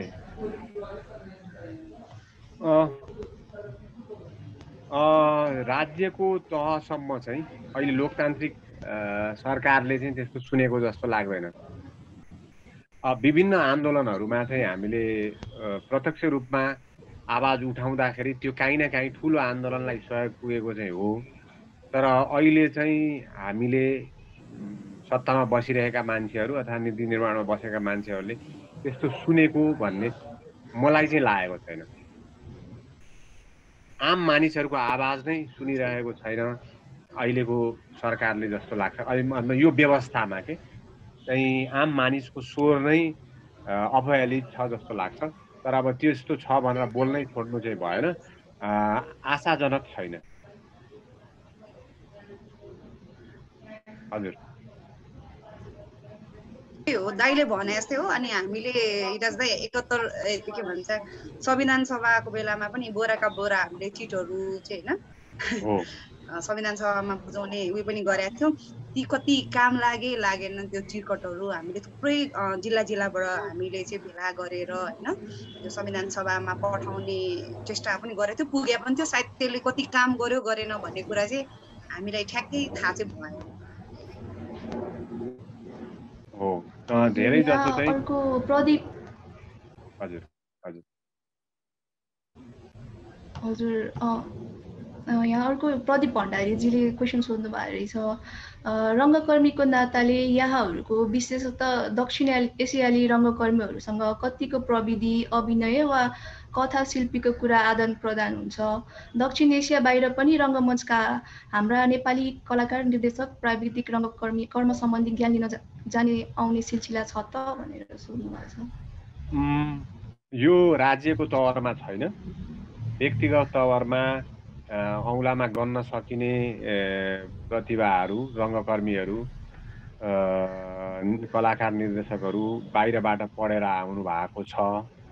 र काम गरिराख्नु भएको छ। अथवा अर्को पनि एउटा विकल्प चाहिँ छ। फेरि यो फेरि सरकारी तवरमा होइन है। सरकारले कसैलाई कुनै रङ्गकर्मीलाई बाहिर पढ्न पठाएको छैन। जबकि सम्भव थियो। संस्कृति मन्त्रालय अथवा सङ्गीत नाट्य प्रज्ञा प्रतिष्ठानले कुनै पनि बाहिरको रङ्गमञ्च सम्बन्धी विश्वविद्यालय अथवा कलेजलाई लेटर लेखेर छात्रवृत्तिको लागि छात्रवृत्तिको लागि पहल गरेर यहाँबाट पठाउन सक्छ। सम्भव छ तर त्यसो गरिएको छैन। त्यसो व्यक्तिगत तवरबाट बाहिर पढ्ने पढेर आएर यहाँ काम गर्ने र अर्को चाहिँ बाहिरका प्रतिभाशाली निर्देशक अथवा प्रशिक्षकहरूलाई बोलाएर यहाँ तालिमहरू दिने काम चाहिँ हुन्छ। जस्तो मैले देखेअनुसार पहिला गुरुकुलमा अत्यधिक धेरै हुन्थ्यो। त्यसपछि अहिले मैले देखेअनुसार बेला बेलामा कौशी मण्डला सर्वनाम शिल्पी जस्ता नाट्य संस्थाहरूमा चाहिँ प्रतिभाशाली बाहिरका साथीहरूलाई पनि बोलाएर तालिम दिने गरिन्छ। यो दुःखको काम छ तर यो अभ्यास तपाईँले भने जस्तो अभ्यास चाहिँ भइरहेको छ र एउटा खुसीको कुरा के छ भने नेपालबाट यहाँ नेपालमा बनेका नाटकहरू विदेशी विभिन्न नाट्य महोत्सवहरूमा एकदमै सम्मानित तरिकाले मञ्चन भएका छन्। र केही आश लाग्दा नाट्य समूह अथवा नाट्य उत्पादनहरू नेपालमा छन् जुन विदेशमा पनि देखाउन सकिन्छ जस्तो लाग्छ। हजुर। पशुपति मैले ठिकै भने? एकदम दाइ सबै कुरा मैले भन्नै नभने आनन्द भइरहेछ। त्यसैमा एउटा थप्न खोजेको चाहिँ जस्तो दाइले भने जस्तो हामीलाई चाहिँ दक्षिण एसियाली हामी रङ्गकर्मीहरूसँग चाहिँ हामी त्यो थिएटर फेस्टिभलमा जाँदा आउँदा चाहिँ त्यो पर्सनल रूपमा चाहिँ कतिजनाको आफ्नो तरिकाको कनेक्सन हुन्छ नि त। अनि यहाँ आइसकेपछि हामीसँग सोसियल मिडिया छ अहिले त्यो कारणले चाहिँ हामी एकअर्काको जोडिने मौका चाहिँ उहाँहरू जस्तो म मेरो सोसियल मिडियामा हुनुहुन्छ भने उहाँहरूको नाटक भएको फोटोहरू हेर्नु पाएर के भइरहेछ त? के नाटक हो? यस्तो कुराहरू चाहिँ हामी पर्सनल रूपमा चाहिँ एकअर्कामा आदान प्रदान भइरहेको हुन्छ। अनि दाइले भने जस्तो सरकारबाट त अहिलेसम्म केही पनि भएको छैन। इन्टरनेसनल फेस्टिभलमा जाने भनेको सबैले आफ्नै निजी आफ्नै समूहले चाहिँ आफै प्रयास गरेर अनि त्यो व्यक्तिगत भावनात्मक कारणले नै जोडेर एकअर्काले हाम्रो त्यो हुन्छ नि आफ्नो आदान प्रदान गरिरहेछौँ। त्यही हो। दाइले भनेको सबै कुरामा प्लस अर्को चाहिँ भनेको चाहिँ हामी पर्सनल रूपमा नि कतिजना चाहिँ टिप इन टच चाहिँ भइरहेको हुन्छ के भइरहेछ तपाईँको समूहमा भन्ने खालको कुराहरू चाहिँ भइरहेको हुन्छ। त्यही हो। त्यही सरकारी लेभलबाट नभए पनि तपाईँहरू व्यक्तिगत लेभलबाट चाहिँ गइरहनु भएको छ त्यो अध्ययन गर्नको लागि। हो किनभने सानो कुरा थपेँ प्राय जसो चाहिँ भारतमा पनि बङ्गलादेशमा पनि नजिकको देशहरू हेर्नुभयो भने तपाईँले अथवा अरू अरू अब धेरै देशहरूमा चाहिँ यो यसको रङ्गकर्मको औपचारिक शिक्षाको लागि चाहिँ राज्यको ठुलो लगानी छ क्या। एउटा स्वस्थ समाज निर्माणको लागि चाहिँ धेरै नाट्य समूहहरू जन्मिनुपर्छ र उनीहरूले नियमित सृजनाहरू गर्नुपर्छ भन्ने चाहिँ त्यो देशको एउटा सांस्कृतिक नीतिभित्र पर्छ क्या। जुन आजसम्म हाम्रो यो नेपाल नामक देशको सांस्कृतिक नीतिभित्र चाहिँ रङ्गकर्मको औपचारिक शिक्षा र यसलाई समृद्ध बनाउने अभियान परेकै छैन कि? मैले थपेँ सरी। अनि नि यो कोरोनाको समयमा पनि तपाईँहरूले त्यो एकाडेमीलाई चाहिँ निवेदनै लेखेर आह्वान गर्नुभएको थियो नि त रङ्गकर्मीहरूलाई हेर्नु पर्यो भनेर। अनि त्यो विषयमा चाहिँ तपाईँहरूलाई सरकार पक्षबाट के कति हेऱ्यो अनि कस्तो भयो त्यो बेला चाहिँ? हामी पहिलो लकडाउन पछि एकदमै दुःखमा थियौँ। अब के गर्ने होला अन्यलको स्थितिमा थियौँ। नाट्य संस्थासँग आबद्ध भएका साथीहरूलाई त्यो नाट्य संस्थाले चाहिँ काउन्सिलिङ गर्यो होला। तर अझै धेरै फ्रिल्यान्सिङ रूपमा काम गरिरहेका रङ्गकर्मीहरूलाई ठुलो सङ्कट भयो क्या। कहाँ जाने के गर्ने? कति त गाउँ पनि फर्किनु भयो अनि बारम्बार कुरा हुँदाखेरि हामीले अनलाइन जुम मार्फत कुरा गरेपछि अब हामीसँग विकल्प छैन। जति नाट्य संस्थाहरू छन् यो इन्डिपेन्डेन्टली बनेको यिनको पनि आफ्नै अभाव छ। हामीले एकअर्कालाई सिधै आर्थिक स्थिति सहयोग गर्ने स्थिति छैन।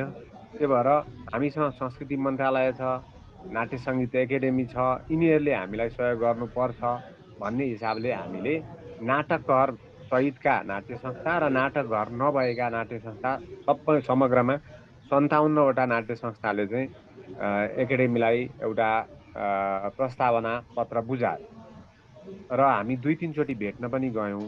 तर उहाँहरूले चाहिँ खासै चासो दिनु भएन मेरो चाहिँ अहिले पनि भनाइ के हो भन्दाखेरि तिनवटै संस्थामा है मैले बारम्बार भन्ने गरेको छु। संस्कृति मन्त्रालय अन्तर्गत भाषा एकाडेमीमा चौध करोड सङ्गीत नाट्य एकाडेमीमा छ करोड ललित कला एकाडेमीमा साढे चार करोड रुपियाँ छ। त्यो त्यो पैसा चाहिँ त्यो कार्यालय खर्च अनि कर्मचारी पाल्न मात्रै काम भइरहेछ। तर निजी क्षेत्रमा पचास साठी लाख रुपियाँको वार्षिक बजेट हुँदा पनि कति धेरै काम हुन्छ? तर त्यो बजेट चाहिँ स्वतन्त्र रूपमा सृजना गरिराख्ने लेखक कवि चित्रकारहरूको हितमा प्रयोग भएन। यथार्थ त्यो हो। त्यो कोरोनाको समयमा चाहिँ तपाईँहरू आफ्नै आफै साथीभाइ मिलेर त्यो त्यो टाइमलाई चाहिँ बिताउनु भयो त्यसो भए। हो हामीले अब दुःखको सुखको कुरा गऱ्यौँ। कसरी अगाडि आउन सकिन्छ अब काम गरौँ भनेर मोरल सपोर्टमा चाहिँ कुरा भयो। अलिअलि अब जस्तो हरेक संस्थाले अलिअलि आर्थिक स्रोत जुटाएर आफ्नो समूहसँग आबद्ध साथीहरूलाई बचाउने काम भयो जस्तो लाग्छ मलाई। तर अब ठुलै त्यस्तो सहयोग गर्ने राहत दिने स्थिति त अब यो इन्डिपेन्डेन्ट नाटक समूहहरूसँग थिएन गर्न सकिएन। दाइले भने जस्तै त्यही त्यस्तो पेन्डामिकको बेलामा चाहिँ हामी चाहिँ धेरै जस्तो रङ्गकर्मीहरूले के भन्छ सङ्गीत नाट्य एकाडेमी अथवा जसले पनि हेरिरहेको छ कलाको संरक्षकको रूपमा हेरिरहनु भएको छ उहाँहरूको मुख पाक्ने काम पनि त्यति गरेन जस्तो लाग्छ मलाई चाहिँ बरु आफ्नो संस्थासँग संस्थाको मान्छेलाई। जो आफूसँग सम्बन्धित छ उहाँहरूले आफ्नो संस्थाको के भइरहेछ भने सोध्ने कामहरू जति नजिकको साथीहरूले चाहिँ एकअर्कालाई सोध्ने काम गर्नु गाह्रो त छैन नि भन्ने खालको एक खालको त्यो भावनात्मक चिजले नै हामी बाँधेर राखेको थियौँ होइन। अनि अनि दाइले भने जस्तो आफ्नो संस्थाले चाहिँ संस्थासँग काम गरेको नजिक हुने मान्छेलाई सबैजनाले गर्नुभएको छ। मलाई थाहा भए अनुसार चाहिँ सबैले चाहिँ आफ्नो सक्ने आफ्नो पहुँचले भ्याएसम्म चाहिँ सहयोग गर्नु भएको छ त होइन। जस्तो लाग्छ। न कि अब मैले चाहिँ एउटा घटना पनि सुनेको ठ्याक्क सुनाउनु मन सम्बन्धित ठाउँकै निकायकै पदाधिकारीलाई चाहिँ एकजनाले फोन गर्नुभएको थियो अरे अनि अनि उहाँले चाहिँ के भन्नुभयो अरे भन्दाखेरि अलिकति गाह्रो छ। के छ भन्दाखेरि चाहिँ अँ यस्तो कुरा चाहिँ मलाई भन्ने होइन। यो कुरा सबैलाई गाह्रै छ भनेर जिम्मेवारी हुनुहुन्छ त।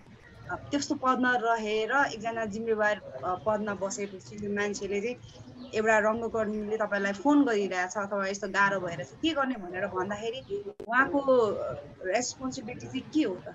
त्यसरी आन्सर दिनु त्यहीँबाट पनि प्रश्न हुन्छ होला कि हामीले चाहिँ कहिले पनि त्यो हुन्छ नि यो संस्थाले अथवा हामीलाई संरक्षण गरिरहेको संस्थाले हेर्ला भने कसैलाई पनि जहाँसम्म लाग्छ कसैलाई पनि विश्वास छैन र यो अहिले भइरहेको कुराहरूले पनि र आउँदा आउँदा दिनहरूमा पनि उहाँहरूले चाहिँ यसरी गम्भीरतापूर्वक हेर्नुहुन्छ भन्ने चाहिँ मलाई चाहिँ लाग्दैन किनभने यही घटनाबाट थाहा हुन्छ होला कि एउटा कसैले तपाईँलाई फोन गरेर मलाई गाह्रो भएर के गर्न सकिन्छ भन्दाखेरि चाहिँ मैले चाहिँ यसमा के पनि गर्न सक्दैन हाम्रो संस्थाले चाहिँ भन्छ भनेपछि कति जिम्मेवारी हुनुहुन्छ जिम्मेवारी उनीहरूले गरिरहनु भएको छ भन्ने कुरो त्यहाँबाट प्रश्न हुन्छ। हामी चाहिँ मलाई जहाँसम्म लाग्छ अहिलेसम्म पनि रङ कर्म टिकेको भनेकै भावनात्मक हिसाबले एकअर्कालाई यो पेन्डामिकमा होस् अथवा नाटक नचल्दा होस् अथवा नाटक घर बनाउने कुरामा होस् अथवा काम गर्ने कुरामा होस् एकदमै एकअर्कालाई नै चाहिँ जे जस्तो भयो भने हामीले चाहिँ सहयोग गरिरहेको हुन्छौँ जस्तो मलाई चाहिँ लाग्छ है दाइ। खै थाहा छैन त्यो अरू कुरा। सबिनाजी जीवन श्रेष्ठजीको प्रश्न छ एउटा। तपाईँले मिस गर्नुभयो भने म पढिदिन्छु। दुवैजना पक्षलाई हो जस्तो छ यो। उहाँले चाहिँ के सोध्नु भएको छ भने तपाईँहरू गजबको नाटकहरू बनाउनुहुन्छ त्यसको लागि धन्यवाद।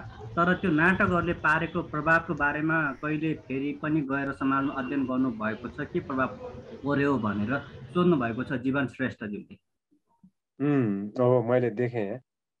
नर्मल्ली चाहिँ हामी कम्युनिटीमा जाँदाखेरि पनि नाटक हेरिसकेपछि प्रतिक्रिया लिने गर्छौँ। अनि नाटक यहाँ नाटकघरमा पनि नाटक मञ्चन भइसकेपछि जहिले पनि कलाकार कहाँबाट एकदमै धेरै साउन्ड आइरहेको छ म त एकदमै डिस्ट्र्याक्ट भएँ। अङ्कलालजी तपाईँले थाहा पाउनुभयो? सबिनाजीको जस्तो लागिरहेछ। ए ए धेरै साउन्ड सबिनाजीको सबिनाजी ए ओके अनि नाटकघरमा पनि हामी जहिल्यै नाटक मञ्चन भइसकेपछि बाहिर कलाकारहरू निर्देशक आएर कुरा गर्छौँ तत्काल। तर अब यो चाहिँ ठुलो डिस्कोर्स नै छ। खास गरी कति सङ्घ संस्था एनजिओ आइएनजिओहरूले चाहिँ जनचेतनामूलक नाटक मञ्चन पछि चाहिँ के परिवर्तन भयो त कसरी खोज्ने? यसको टुल्स के हो भनेर चाहिँ संसारभरि नै यसको बहस चाहिँ भइरहेछ। तर मैले बुझे अनुसार चाहिँ अहिलेसम्म त्यस्तो नाटक अथवा कुनै पनि कलाले मान्छेको आम जीवनमा कसरी ठ्याक्कै प्रभाव पार्यो त भन्ने कुराको त्यो औजार चाहिँ पत्ता लागिसकेको मलाई थाहा भएन। हामी पनि कोसिस गरिरहेको छौँ। किनभने त्यो चाहिँ जुन प्राविधिक कुराहरू छ नि अब जस्तो मूलत नाटकको फिलोसफी भनेको चाहिँ ठ्याक्कै रक्सी सम्बन्धी नाटक देखायो अनि नाटक हेरिसकेपछि रक्सी खाने मान्छेले रक्सी खान छोडो भन्ने खालको। अथवा हिंसा हुन्थ्यो नाटक हेर्ने बित्तिकै उसलाई चाहिँ ओहो हिंसा गर्नु हुँदैन रहेछ। भन् भनेर चाहिँ उसले भोलि हिंसा गर्न छोड्यो। भन्ने खालको जुन एकदमै प्राविधिक अथवा जादुमय परिवर्तनको अपेक्षा चाहिँ हामीले कहिले पनि राखेनौँ। यो चाहिँ मान्छेको बिहेभियर चेन्जको कुरा अथवा सोचमा बाध्य बनाउने आम मान्छेहरूलाई सृजनशील जीवनमा फर्काउने अथवा मूलत पूर्वीय दर्शन अनुसार विरेचन मान्छे एकदमै तनावमा छ एउटा आर्ट हेरिसकेपछि ऊ कथार्सिस हुन्छ विरेचन हुन्छ। अनि हामी पनि खोजिरहेछौँ बरु जीवनजी तपाईँले त्यस्तो टुल्स भेटाउनु भएको छ कतै मतलब त्यस्तो काहीँ डिस्कोर्स सुन्नु भएको छ भने हामी बसेर सल्लाह पनि गर्न सकिन्छ। कसरी चाहिँ नाटकको प्रभावलाई नाप्न सकिन्छ त? हजुर। मेरो कुरा सिद्धियो अहिले। त्यो प्रभाव चाहिँ फेरि त्यो मान्छेहरूले कसरी त्यो लिन्छ भन्ने कुरामा पनि भर पर्छ नि त। हजुर। अनि त्यो ठ्याक्कै कसरी लिने त त्यो त्यो प्रभाव कति पर्यो त कलाको भन्ने कुरामा चाहिँ अब यो कुनै स्कलरहरूले रिसर्चरहरूले यस्तै होइन अर्को आस्पेक्ट हो जस्तो लाग्छ। हामी रङ्गकर्मीहरू नै त्यता लाग्न थाल्यौँ भने चाहिँ फेरि यता काम हुन्न होला। त्यो काम गरिदिने मान्छेहरू पनि हामीलाई चाहिएको छ कि क्रिएटिभ साथीहरू।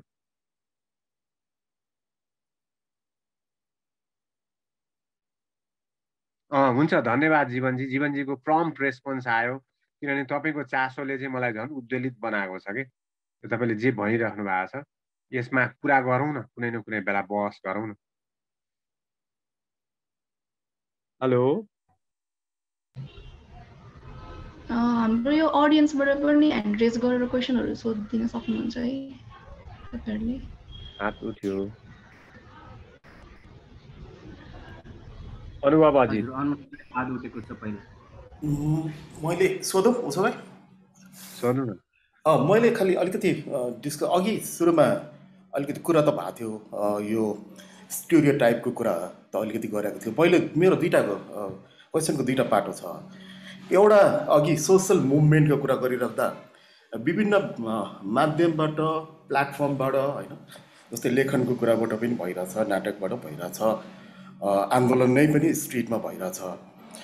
आन्दोलनसँग स्ट्रिटको आन्दोलनसँग ड्रामा थ्रे थिएटर विभिन्न कालखण्डमा जोडिएको पनि छ। मैले एउटा कुरा के सोधेको भने नाटक ड्रामा त जोडिएको छ तर ड्रामा त आफै हुँदैन। ड्रामा कसैले लेखेपछि स्क्रिप्ट लेखेपछि अथवा आइडिया बनाएपछि बल्ल त्यसको त्यसमा हामीले ड्रामा प्ले गर्ने होला। मलाई एउटा हाम्रो नेपालको कन्टेक्स्टमा यो सोसल मुभमेन्टसँग जोडिएर ड्रामा लेख्ने लेख्ने चलन चाहिँ कतिको छ? भनेको हामीले घिम्रे युवराजले कुनै नाटक परिकल्पना गर्न खोज्दा उसले आफैले थिम अथवा आइडिया कल्पना गर्छ र कसैलाई कमिसन गराउन लाग्छ कि यो इस्युमा मलाई लेखिदेऊ अथवा अलरेडी हामीसँग त्यस्ता लिट्रेचरहरू छन् जसले हामीलाई त्यो लिट्रेचर मध्येबाट समय अनुसार अथवा कन्टेक्स्ट अनुसार हामीलाई ड्रामा गर्न इन्करेज गर्छ। एउटा एउटा पाटो मेरो त्यो भयो होइन? पशुपतिजीले पनि त्यसमा जोइन गर्दा भयो। अर्को क अर्को मेरो क्वेसनको अर्को पा अर्को पाटो अर्को अलिकति फरकको कुरा कस्तो छ भने जस्तो हामी कहाँ डिफ्रेन्ट सोसियल इस्युज छन् होइन? जस्तो फर इक्जाम्पल घिम्रे युवराज यद्यपि तराईमा घर हो तर ऊ पहाडी ब्राह्मण हो होइन?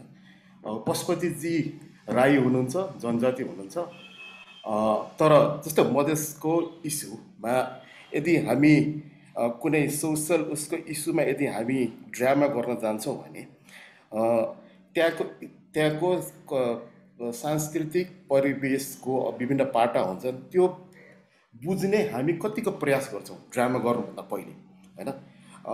त्यो इन्टरनलाइज गरेपछि कुनै पनि इस्युलाई इन्टरनलाइज गर्ने हाम्रो डिरेक्टरको र परिकल्पना गर्नेले त्यसमा कतिको इन्भेस्टमेन्ट गर्छ र जुन आर्टिस्टहरू छ त्यो आर्टिस्टहरूले आफूले पनि विदाउट इन्टरनलाइज न नगरिकन यदि ड्रामा प्ले गर्दा त्यसको इफेक्टिभनेस कतै कम्प्रोमाइज हुन्छ कि? अथवा हुँदैन भन्ने के देख्नु भएको छ तपाईँहरूले? मै सुरु गरौँ? पशुपति के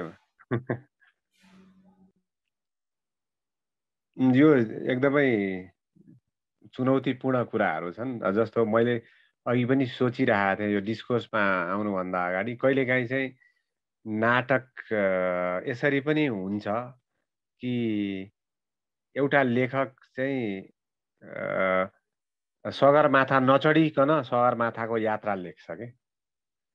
कहिलेकाहीँ आर्ट मैले अरूको हेर्दाखेरि अथवा कहिले कुनै आर्ट एक्जिबिसनमा जाँदाखेरि अथवा अरू अरू आर्ट इन्ट्रेक्सन गर्दाखेरि त्यस्तो महसुस गरिरहेको हुन्छु। भनेपछि रङ्गकर्ममा पनि पक्कै पनि त्यो त्यो समस्याहरू छन् जस्तो लाग्छ मलाई।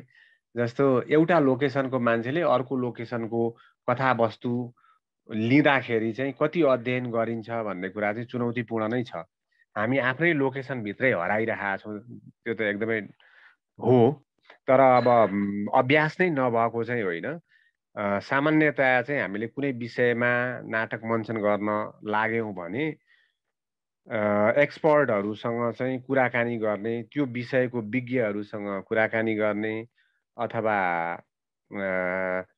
त्यस्तो रिसोर्स मेटेरियलहरू खोज्ने जस्तो कि मैले दीक्षान्त गरेँ दीक्षान्त नाटक गरेँ जुन जातीय विभेद विरुद्धमा थियो अनि मैले चाहिँ ड्युरिङ द रिहर्सल टाइम चाहिँ अब धेरै जातीय विभेदको विषयमा लेखिराख्नु भएको अनुसन्धान गरिराख्नु भएको विज्ञहरूलाई ल्याएर कुराहरू सेयर गरियो।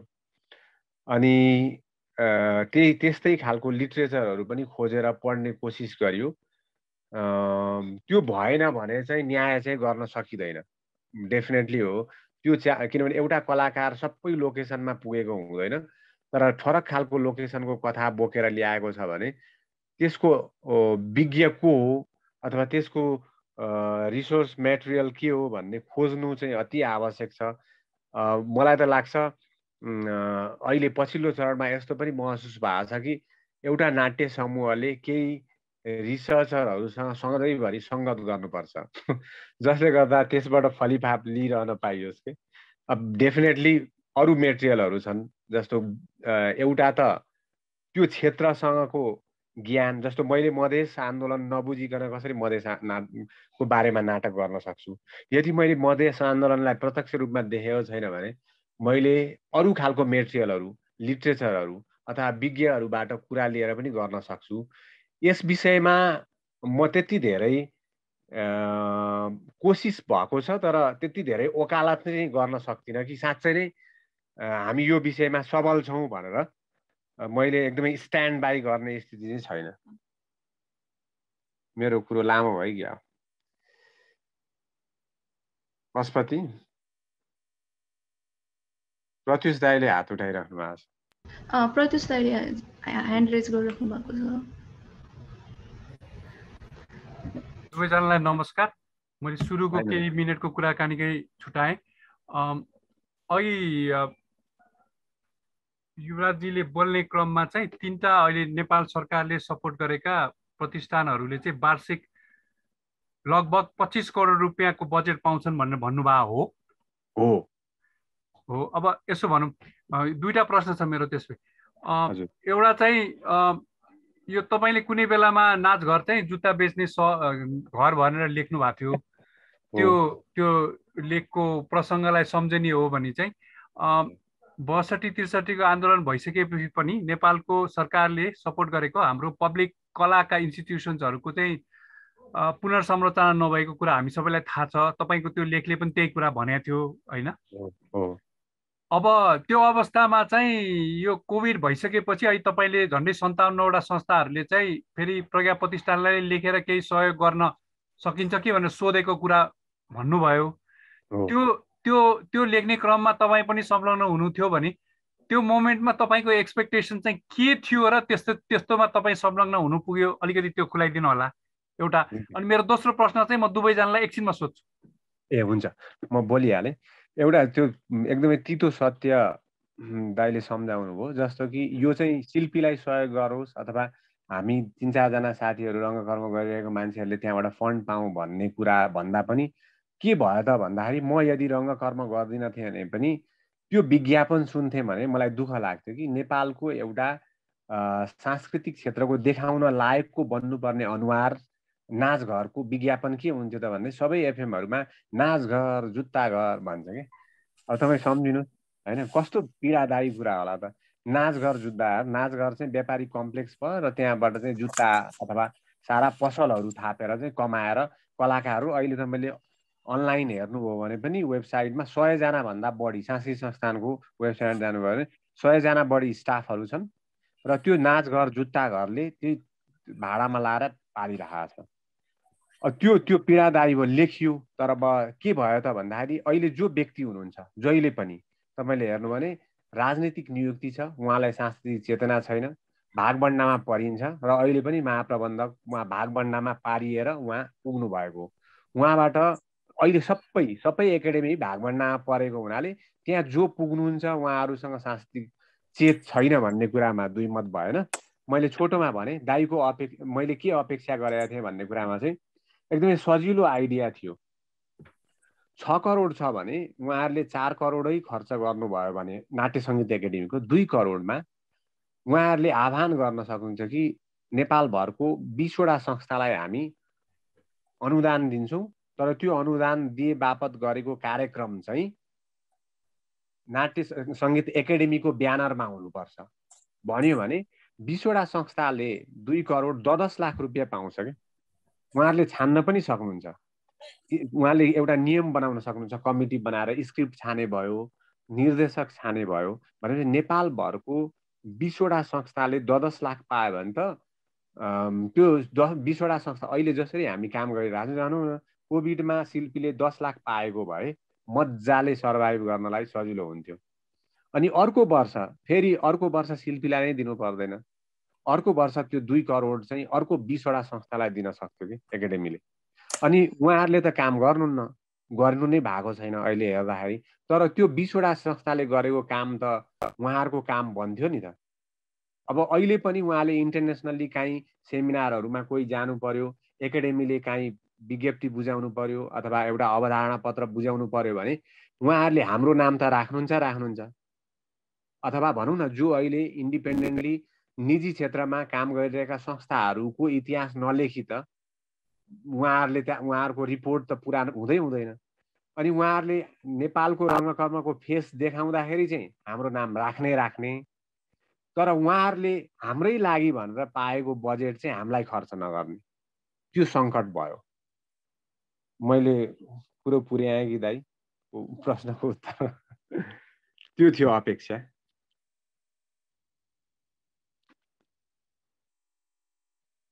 हजुर मेरो त सिद्धियो।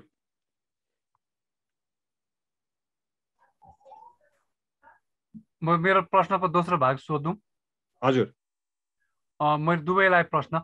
यो चाहिँ अब एकछिनलाई यस्तो भयो। अहिले तपाईँले एउटा एकदम छिट्टो चाहिँ के भन्नुभएको थियो नि जस्तो भनौँ न यो पच्चिस करोड बजेट छ अब एउटा संस्थाहरूले यो गैर सरकारी तवरबाट खोलेका संस्थाहरूले चाहिँ सत्तरी लाख रुपियाँ वर्षको पाउने हो भने पनि गजबै धेरै काम गर्न सकिन्थ्यो भन्ने छुन्। हाम्रो आफ्नो अर्को कार्यक्षेत्रमा पनि हामीलाई त्यस्तै लाग्छ।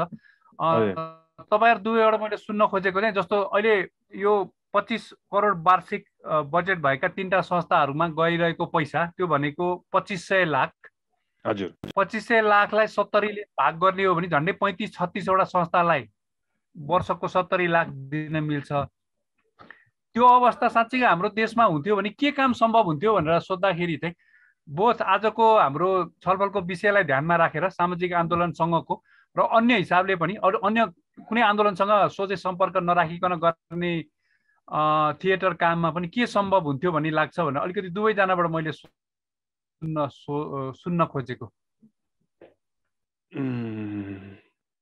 पशुपति सुरु गरौँ म मेरो अलि नेटमा नि प्रब्लम आएर म आउँदै जाँदै गइरहेको छु नि क्वेसनहरू हुन्छ दाइ एकपल्ट गर्नु न। जस्तो सामाजिक आन्दोलनसँग प्रत्यक्ष रूपमा संलग्न हुने कुरा बाहेक पनि मलाई लागेको चाहिँ सडकमा नदेखिए पनि कुनै न कुनै रूपमा हामी इन्भल्भमै छौँ जस्तो लाग्छ सामाजिक आन्दोलनमा। जस्तो कि जस्तो दाइले भने जस्तो अहिले म अरू विधा पनि मेरो चासोको विषय हो। जस्तो ललित कलासँग चार करोड छ भने ललित कलाले काठमाडौँमा मात्रै पेन्टिङ एक्जिबिसन गर्नुपर्छ। त्यो पेन्टिङ एक्जिबिसन चाहिँ नेपालको विभिन्न सहर अथवा सानो सानो गाउँहरूमा हुन्थ्यो भने त्यसले सा सामाजिक आन्दोलनलाई पुरा पार्थै पार्दैन थियो। मलाई त जहिल्यै पार्थ्यो जस्तो लाग्छ। मेरो गाउँको मोरङको एउटा गाउँको स्कुलको विद्यार्थीहरूले वर्षमा दुईवटा पेन्टिङ एक्जिबिसन हेरे चौरमा अथवा काहीँ ठुलो हलमा भने पक्कै पनि उन उनको चेतनामा उनको सोच्ने शक्तिमा अथवा सृजनशीलतामा त्यसले प्रभाव पार्थ्यो। त्यो अब सामाजिक आन्दोलन भनेको के राजनीतिक मुद्दा नै बोक्ने कुरा मात्रै होइन होला जस्तो लाग्छ मलाई। भने राजनीति पार्टी पोलिटिक्सको कुरा मात्रै होइन जस्तो लाग्छ। यो ठुलो पोलिटिक्स हो जस्तो लाग्छ। जस्तो कि गाउँ गाउँमा एकाडेमीले यस्तो इन्डिपेन्डेन्ट ग्रुपहरूलाई ट्रेन गरेर ना कम्युनिटीमा नाटक गर्थ्यो भने त्यो ठुलो राजनीति हो जस्तो लाग्छ।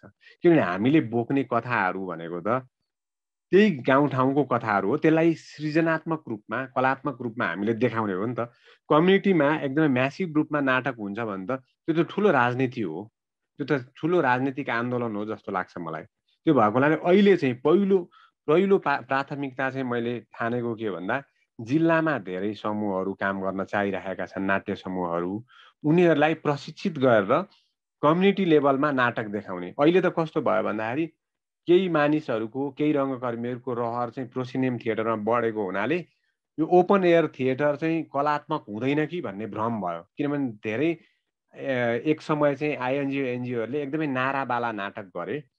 अनि ठ्याक्कै साबुन पानीवाला अथवा यो एचआइभी एड्सवाला एकदमै डाइरेक्ट नारावाला नाटक धेरै प्रायोजित नाटक भएको हुनाले चाहिँ त्यो ओपन एयरमा चाहिँ कलात्मक नाटक नै हुँदैन कि भन्ने भ्रम भएको छ।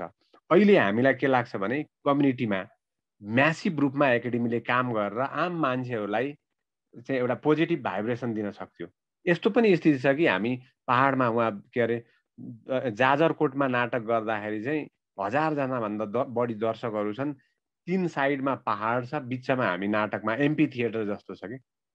अब राति बर्दियामा नाटक गऱ्यौँ कति कम्युनिटीमा के चाहना हुन्छ भने हाम्रो काम सिद्धे पनि नाटक गरिदिनुहोस्। अनि बर्दियामा निवेदन भयो गाउँलेहरूको कि हामी खानासाना खाएर नाटक हेर्छौँ।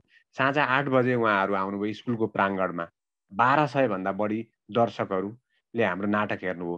भनेपछि यो कम्युनिटी लेभलमा चाहिँ हामी मलाई लाग्छ यो यो संस्थाहरूले चासो दिने हो भने चाहिँ एकदमै वृहत रूपमा अभियान चलाउन सक्छौँ र मेरो चाहिँ भनाइ यो आफैमा सामाजिक आन्दोलन बन्न सक्छ।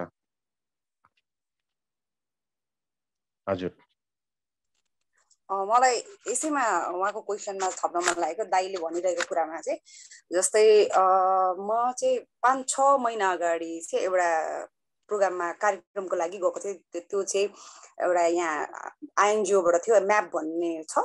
अनि उहाँहरूले चाहिँ कला मार्फत चाहिँ कसरी चाहिँ विद्यार्थीहरूको पठन पाठन अनि उनीहरूको त्यो चिजलाई चाहिँ कसरी पठन पाठनलाई अनि उहाँहरूको त्यो संस्कृतिहरूलाई चाहिँ कसरी त्यसले प्रभाव पार्छ अथवा त्यो टुल्सको रूपमा चाहिँ कसरी प्रयोग गर्न सकिन्छ भनेर काम गरिरहनु भएको छ। उहाँहरूले चाहिँ अहिले चाहिँ परीक्षणको लागि चाहिँ तिन चारवटा जिल्लालाई चाहिँ छानिरहनु भएको छ। त्यसमा चाहिँ धनगढी थियो। अनि म धनगढी गएको थिएँ म र अनि मेरो एकजना सरस्वती चौधरी भन्ने साथीसँग हामीले चाहिँ प्रशिक्षण चलाउन गएको थियौँ। त्यसमा चाहिँ तिन चारवटा सेक्सनहरू फरक फरक उहाँहरूले छुटाउनु भएको थियो क्लास जस्तो। एउटा थिएटरको क्लास थियो दुई दिनको क्लास थियो अनि अर्को चाहिँ वाद्यवादनको थियो अनि अर्को चाहिँ उहाँहरूले चाहिँ फोटोग्राफी चाहिँ आफ्नो फोटोग्राफी चाहिँ मोबाइलबाट चाहिँ कसरी आफ्नो आफ्नो कथाहरू कसरी भन्ने भनेर दुई दिनको क्लास थियो। अनि अर्को भनेको चाहिँ उहाँहरूको आफ्नो त्यहाँको लोक कथा लोक सङ्गीत भनौँ न अथवा नाच देउडा थियो अनि त्यो चिजहरू थियो। अनि ती चिजहरू जस्तो यदि त्यस्तो चिजहरूमा यदि हाम्रो तपाईँले अलिक भनिराख्नु भएको जस्तो त्यो बजेटको कुरा आउँदाखेरि चाहिँ त्यो अरू संस्थाले छुटाउँदाखेरि जस्तो छुट्यायो के के काममा प्रयोग गर्न सकिन्थ्यो होला भन्ने कुरामा हेर्दाखेरि चाहिँ अब यो एउटा सानो कुरा हुनसक्छ। एउटा विद्यार्थीलाई चाहिँ कलालाई चाहिँ उनीहरूले कसरी टुल्सको रूपमा आफ्नो पढाइ आफ्नो समाजलाई चाहिँ एउटा अलिकति नयाँ तरिकाले सोच्ने सक्ने त्यो कसरी दिन सक्छ चाहिँ त्यो टुल्स चाहिँ कसरी हामीले प्रयोग गर्न सक्छौँ त्यो टुल्सको रूपमा? जस्तो थिएटर भयो ड्रामाको माध्यमबाट अथवा म्युजिकको माध्यमबाट अथवा देउडाको अथवा फोटोग्राफीबाट भन्ने कुरा यो कला चाहिँ कति इम्पोर्टेन्ट छ भनेर उहाँहरूले गरिरहनु भएको थियो। यो चाहिँ अब आइएनजिओ होइन उहाँहरूले गरेर दुई दिने कार्यशाला गर्नुभएको थियो। त्यहाँनिर अनि हामीले चाहिँ कार्यशालामा चाहिँ कस्तो भयो भने त्यहाँको विद्यार्थीहरू टिचरहरू चाहिँ यति इन्ट्रेस्ट छैन अनि मलाई चाहिँ एउटा इन्ट्रेस्टिङ लागेको कुरो चाहिँ के भने जस्तो एउटा कुनै पनि लोक संस्कृति अथवा लोक नाचले चाहिँ जस्तो देउडा भनौँ न उहाँहरूको देउडा थियो। अहिलेको केटाकेटीले देउडा सिक्न खोजिरहनु भएको थियो। अनि एकजना टिचर हुनुहुन्थ्यो त्यो टिचरले दुई दिन सिकाइरहनु भएको थियो बच्चाहरू यति धेरै इन्ट्रेस्ट लिएर त्यो देउडा नाचमा होइन देउडा सिक्न अनि त्यो देउडा भाकाहरू सिकिरहनु भएको थियो। अनि उहाँहरूको त्यो भाका अनि उहाँले सिकाइरहनु भएको हामी क्लासमा पनि गएको थियौँ। त्यसबाट चाहिँ के भइरहेको थियो भने त्यसमा रमाइलो कुराहरू मात्रै थिएन। त्यहाँनिर सन्देशका कुराहरू थिए उहाँहरूको आफ्नो दुःखका कुराहरू थियो त्यहाँनिर के दुःखहरू छ त्यो कुराहरू थियो। अनि त्यो कुराहरू इन्ट्रेस्टिङ तरिकाले उहाँहरूले भनिरहनु भएको थियो अनि आफ्नै लोक भाकामा अनि आफ्नै संस्कृतिमा उहाँहरूले जसरी त्यो देउडा भाकामा नाचेर गाएर भनिरहन्छ त्यो पनि एउटा टुल्सको रूपमा हुनसक्छ नि त अथवा यदि हामीले हाम्रो संस्कृति ले चाहिँ हाम्रो कामलाई हाम्रो समाजलाई हाम्रो देशलाई कति प्रभाव पार्छ भन्ने कुरा पनि त हो जस्तो लाग्छ। होइन जस्तो थिएटरमा जस्तै त्यहाँनिर बच्चाहरू थिए उनीहरू चाहिँ ड्रामा आफै पनि गरिरहेको रहेछन्। उनीहरू जानी नजानी आफै सिकिरहेको रहेछ त्यसमा थोरै मात्रै पनि यदि त्यहाँका संस्थाहरू अथवा त्यहाँ काम गरिरहनु भएको रङकर्मीहरूले थोरै मात्रै जस्तो राहत अथवा पाउने हो भने उहाँहरूले आफ्नो त्यो तर्फबाट आफूले जानेको कुराहरूबाट एउटा आफैलाई अथवा आफूलाई समाजलाई दिने कुराहरू धेरै कुराहरू हुन सक्छन् जस्तो लाग्छ। यदि उहाँहरूले आफ्नै तरिकाले यति दुःख गरेर स्कुल यति जान टाढा जानुपर्ने उहाँहरू चाहिँ जस्तो पश्चिममा चाहिँ स्कुल आफ्नो घरदेखि स्कुल जाने चाँदनी दोधारासम्म पनि पुग्नुपर्ने जस्तो ती कुराहरू पनि उहाँले आफ्नो गीत मार्फत नाटक मार्फत कति झल्काइरहनु भएको थियो। सो यो आर्ट चाहिँ कति पावरफुल चिज हो। त्यसले चाहिँ होइन एउटा विद्यार्थीको विद्यार्थीले चाहिँ आफ्नो आफूले सके जति एउटा प्रयोग गरेर कसैले देउडा भाका बनाएर चाहिँ प्रस्तुत गरेर हामीले अन्तिम दिन चाहिँ सबैजनाले प्रदर्शन गरिरहेको थियौँ। सो त्यो एउटा सानो दुई दिनको कार्यशालाले पनि कति धेरै स्कुलको टिचर्सहरू अनि त्यहाँ भएका जो सहभागी भाइ बहिनीहरू थिए उनीहरूमा कति धेरै उत्साह जागेको थियो कि हामी पनि गर्छौँ हामी पनि सत्यस्तै गर्न पाए हामीलाई पनि कहीँबाट भए भन्ने कुराहरू थियो। त्यो कुराले गर्दाखेरि चाहिँ जस्तो अघि भनिरहनु बजेटको कुरा बजेट भन्नाले केही रूपमा जस्तो गभर्मेन्टले यो विषयमा सोध्ने अथवा त्यो राहतको कुरा चाहिँ के काम गरिरहेछ अहिले यहाँ? केन्द्रमा जस्तो काठमाडौँको यो जुन संस्था जसले चाहिँ कलालाई चाहिँ संरक्षण गरिरहेछौँ अथवा हेरिरहेछौँ भन्ने त्यो संस्थाले के चाहिँ गरिरहेछ त?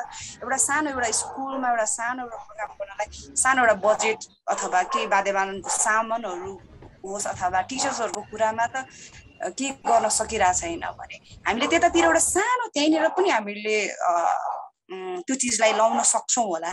यदि हामीले त्यो बजेट पाउँथ्यौँ अथवा हामी नै रङ्गकर्मी अथवा जति पनि छौँ होइन? यदि हामीले त्यो चिजहरू स्रोतहरू पाउँथ्यौँ भने पक्कै पनि हामीले ती ससाना कुराहरूमा स्कुलदेखि लिएर हामी काठमाडौँमा मात्रै नभएर भ्याली बाहिर भएका थुप्रै संस्थाहरू छन् सङ्घ संस्था भन्नाले आर्टमा काम गरिरहनु भएको उहाँहरूसँग हामीले सहकार्य गर्न सक्छौँ होला जस्तो लाग्छ। यदि हामीले त्यो स्रोत पाउँथ्यौँ भने।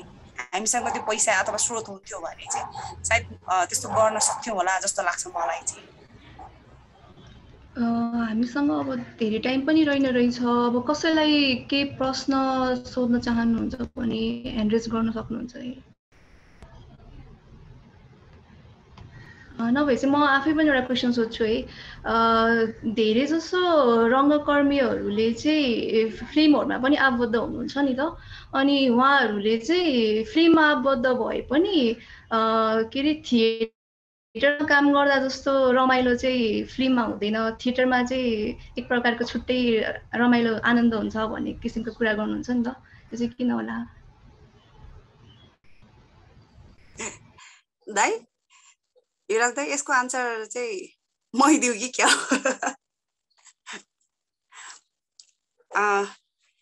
यस्तो होला सबिनाजी त्यो चाहिँ हो मैले त धेरै काम गरेको पनि छैन फिल्ममा त्यो भएर त्यो भन्दा पनि मेरो आफ्नो अनुभव चाहिँ त्यो चाहिँ कस्तो होला भने सबिनाजी के हुन्छ भने हामीले चाहिँ त्यो एकदमै अब आफ्नो एउटा जरा हुन्छ नि कहाँबाट तपाईँ आउनुभयो भनेको जस्तो मैले काठमाडौँ बसिरहेको छु नि त होइन? काठमाडौँमा मैले रङ्गकर्म गरिरहेको छु। काठमाडौँमै भिजी बसेको म सोह्र सत्र वर्ष भइसक्यो मलाई काठमाडौँको हरेक गल्लीहरू राम्रो लाग्छ होला।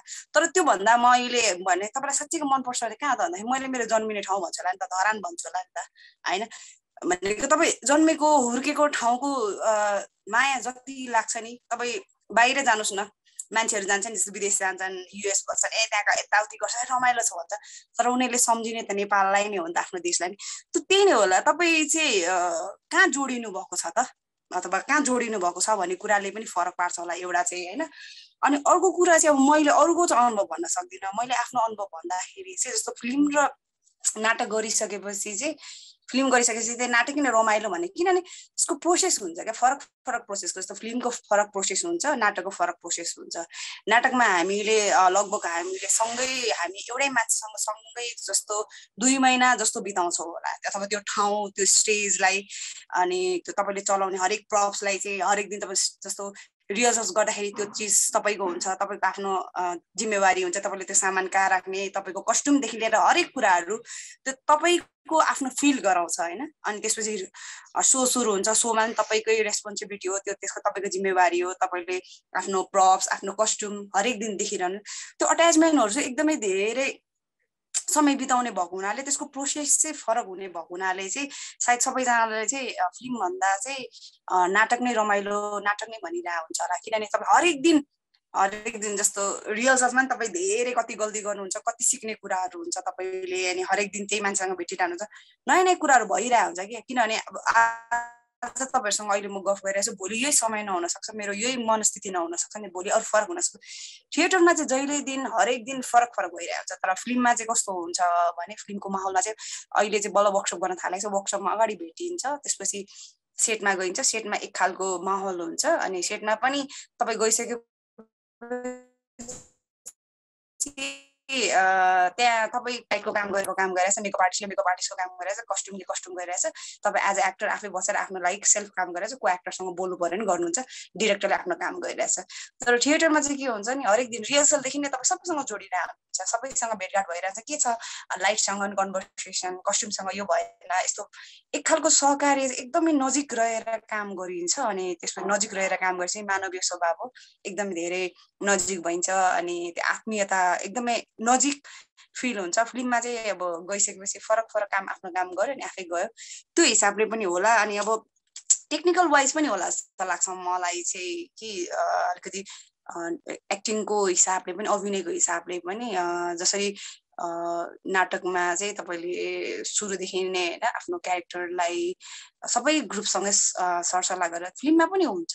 तर गइसकेपछि स्टेजमा गइसकेपछि पर्फर्मेन्समा गइसकेपछि हामी बिच एकअर्का बिच त्यो काम गर्ने अलिकति काम गर्ने थोरै तरिका चाहिँ टेक्निकलमा फरक छ नि त। सो हामी नाटकमा सर बग्न पाउँछौँ भने फिल्ममा चाहिँ तपाईँ के भन्छ फिल्ममा अथवा कथामा चाहिँ त्यो सिन चाहिँ अन्तिमको तपाईँले चाहिँ सुरु दिनै गर्नुपर्छ अथवा पहिलो दिनै गर्नुपर्छ भनेको इमोसन्सको त्यो भेरिएसन पनि एकदमै फिल्ममा चाहिँ तल माथि कता कता भइरहेको हुन्छ। तर नाटकमा चाहिँ तपाईँले रिहर्सल्स गर्दादेखि तपाईँको इमोसन्स सुरुदेखि नै कसरी आउने त्यो एक लहरमा आइरहेको हुन्छ नि त एक खालको हुन्छ। फिल्ममा चाहिँ एकदमै धेरै जिगज्याग हुने भएको हुनाले चाहिँ अलिकति त्यो टेक्निकल वाइज चाहिँ मलाई पनि गाह्रो हुन्छ। एकदमै धेरै इमोसन गरी कहाँको भोलि सिन चाहिँ अब एउटा सिन चाहिँ अन्तिमको छ भने एउटा बिचको छ कहाँको त्यो इमोसन चाहिँ एकदमै त्यो तलमाथि तलमाथि भइरहेको हुन्छ। सो टेक्निकल हिसाबले चाहिँ अलिकति त्यो चाहिँ च्यालेन्जिङ पनि छ है फेरि हुन चाहिँ फेरि फिल्मको लागि। मलाई चाहिँ एकदम च्यालेन्ज लाग्छ किनभने तपाईँ एकैचोटि इमोसन अन्तिमको इमोसन्समा आएर त्यो त्यो एउटा भाव बोकेर एक्टिङ गर्नुपर्छ अनि फेरि अर्को भइरहन्छ। तर नाटकमा चाहिँ खालको सरल बक्न पाउनु चाहिँ क्यारेक्टरमा त्यो भएर त्यो मजा जुन मजा छ त्यो चाहिँ फिल्ममा छैन क्या अनि त्यो भएर मान्छेले भन्नुभयो हो जस्तो लाग्छ मेरो अनुभवमा है। अरूहरूको अनुभव चाहिँ कस्तो छ? थाहा छैन मलाई। मेरो आफ्नो अनुभवमा चाहिँ मलाई चाहिँ त्यस्तो लाग्छ। हजुर अब हाम्रो यो टाइम पनि अब सकिने सकिसके सकिने बेला भइसक्यो। सो यो सेसन चाहिँ इन गर्नुपर्छ होला। हुन्छ सबिनाजी समय सकिएको हुनाले। आजको छलफल कार्यक्रमलाई सहज गरिदिनु हुने पत्रकार सबिना श्रेष्ठ सामाजिक आन्दोलन र रङ्गमञ्च विषयमा आएर बोलिदिनु हुने वक्ताहरू पशुपति राई र घिमिरे युवराज तिनैजनालाई धन्यवाद दिँदै डेमोक्रेसी डायलगको अक्टोबर सेसन चाहिँ छैन। चाडबाड परेको कारणले गर्दाखेरि हलिडे समय परेकोले हामीले यो सेसन गर्न सकेनौँ। नोभेम्बर सेसनमा हामी यसै समय भेट हुने बाचाका साथ आजको लागि हामी छुट्टिन्छौँ। सहभागी भएर जिज्ञासा राखिदिने सबै सहभागीलाई पनि धन्यवाद। फेसबुकबाट कमेन्ट दिनुहुने सहभागीलाई पनि धन्यवाद दिँदै आज छुट्टिन्छौँ। थ्याङ्क यू सो मच सबैजनालाई. Thank you so much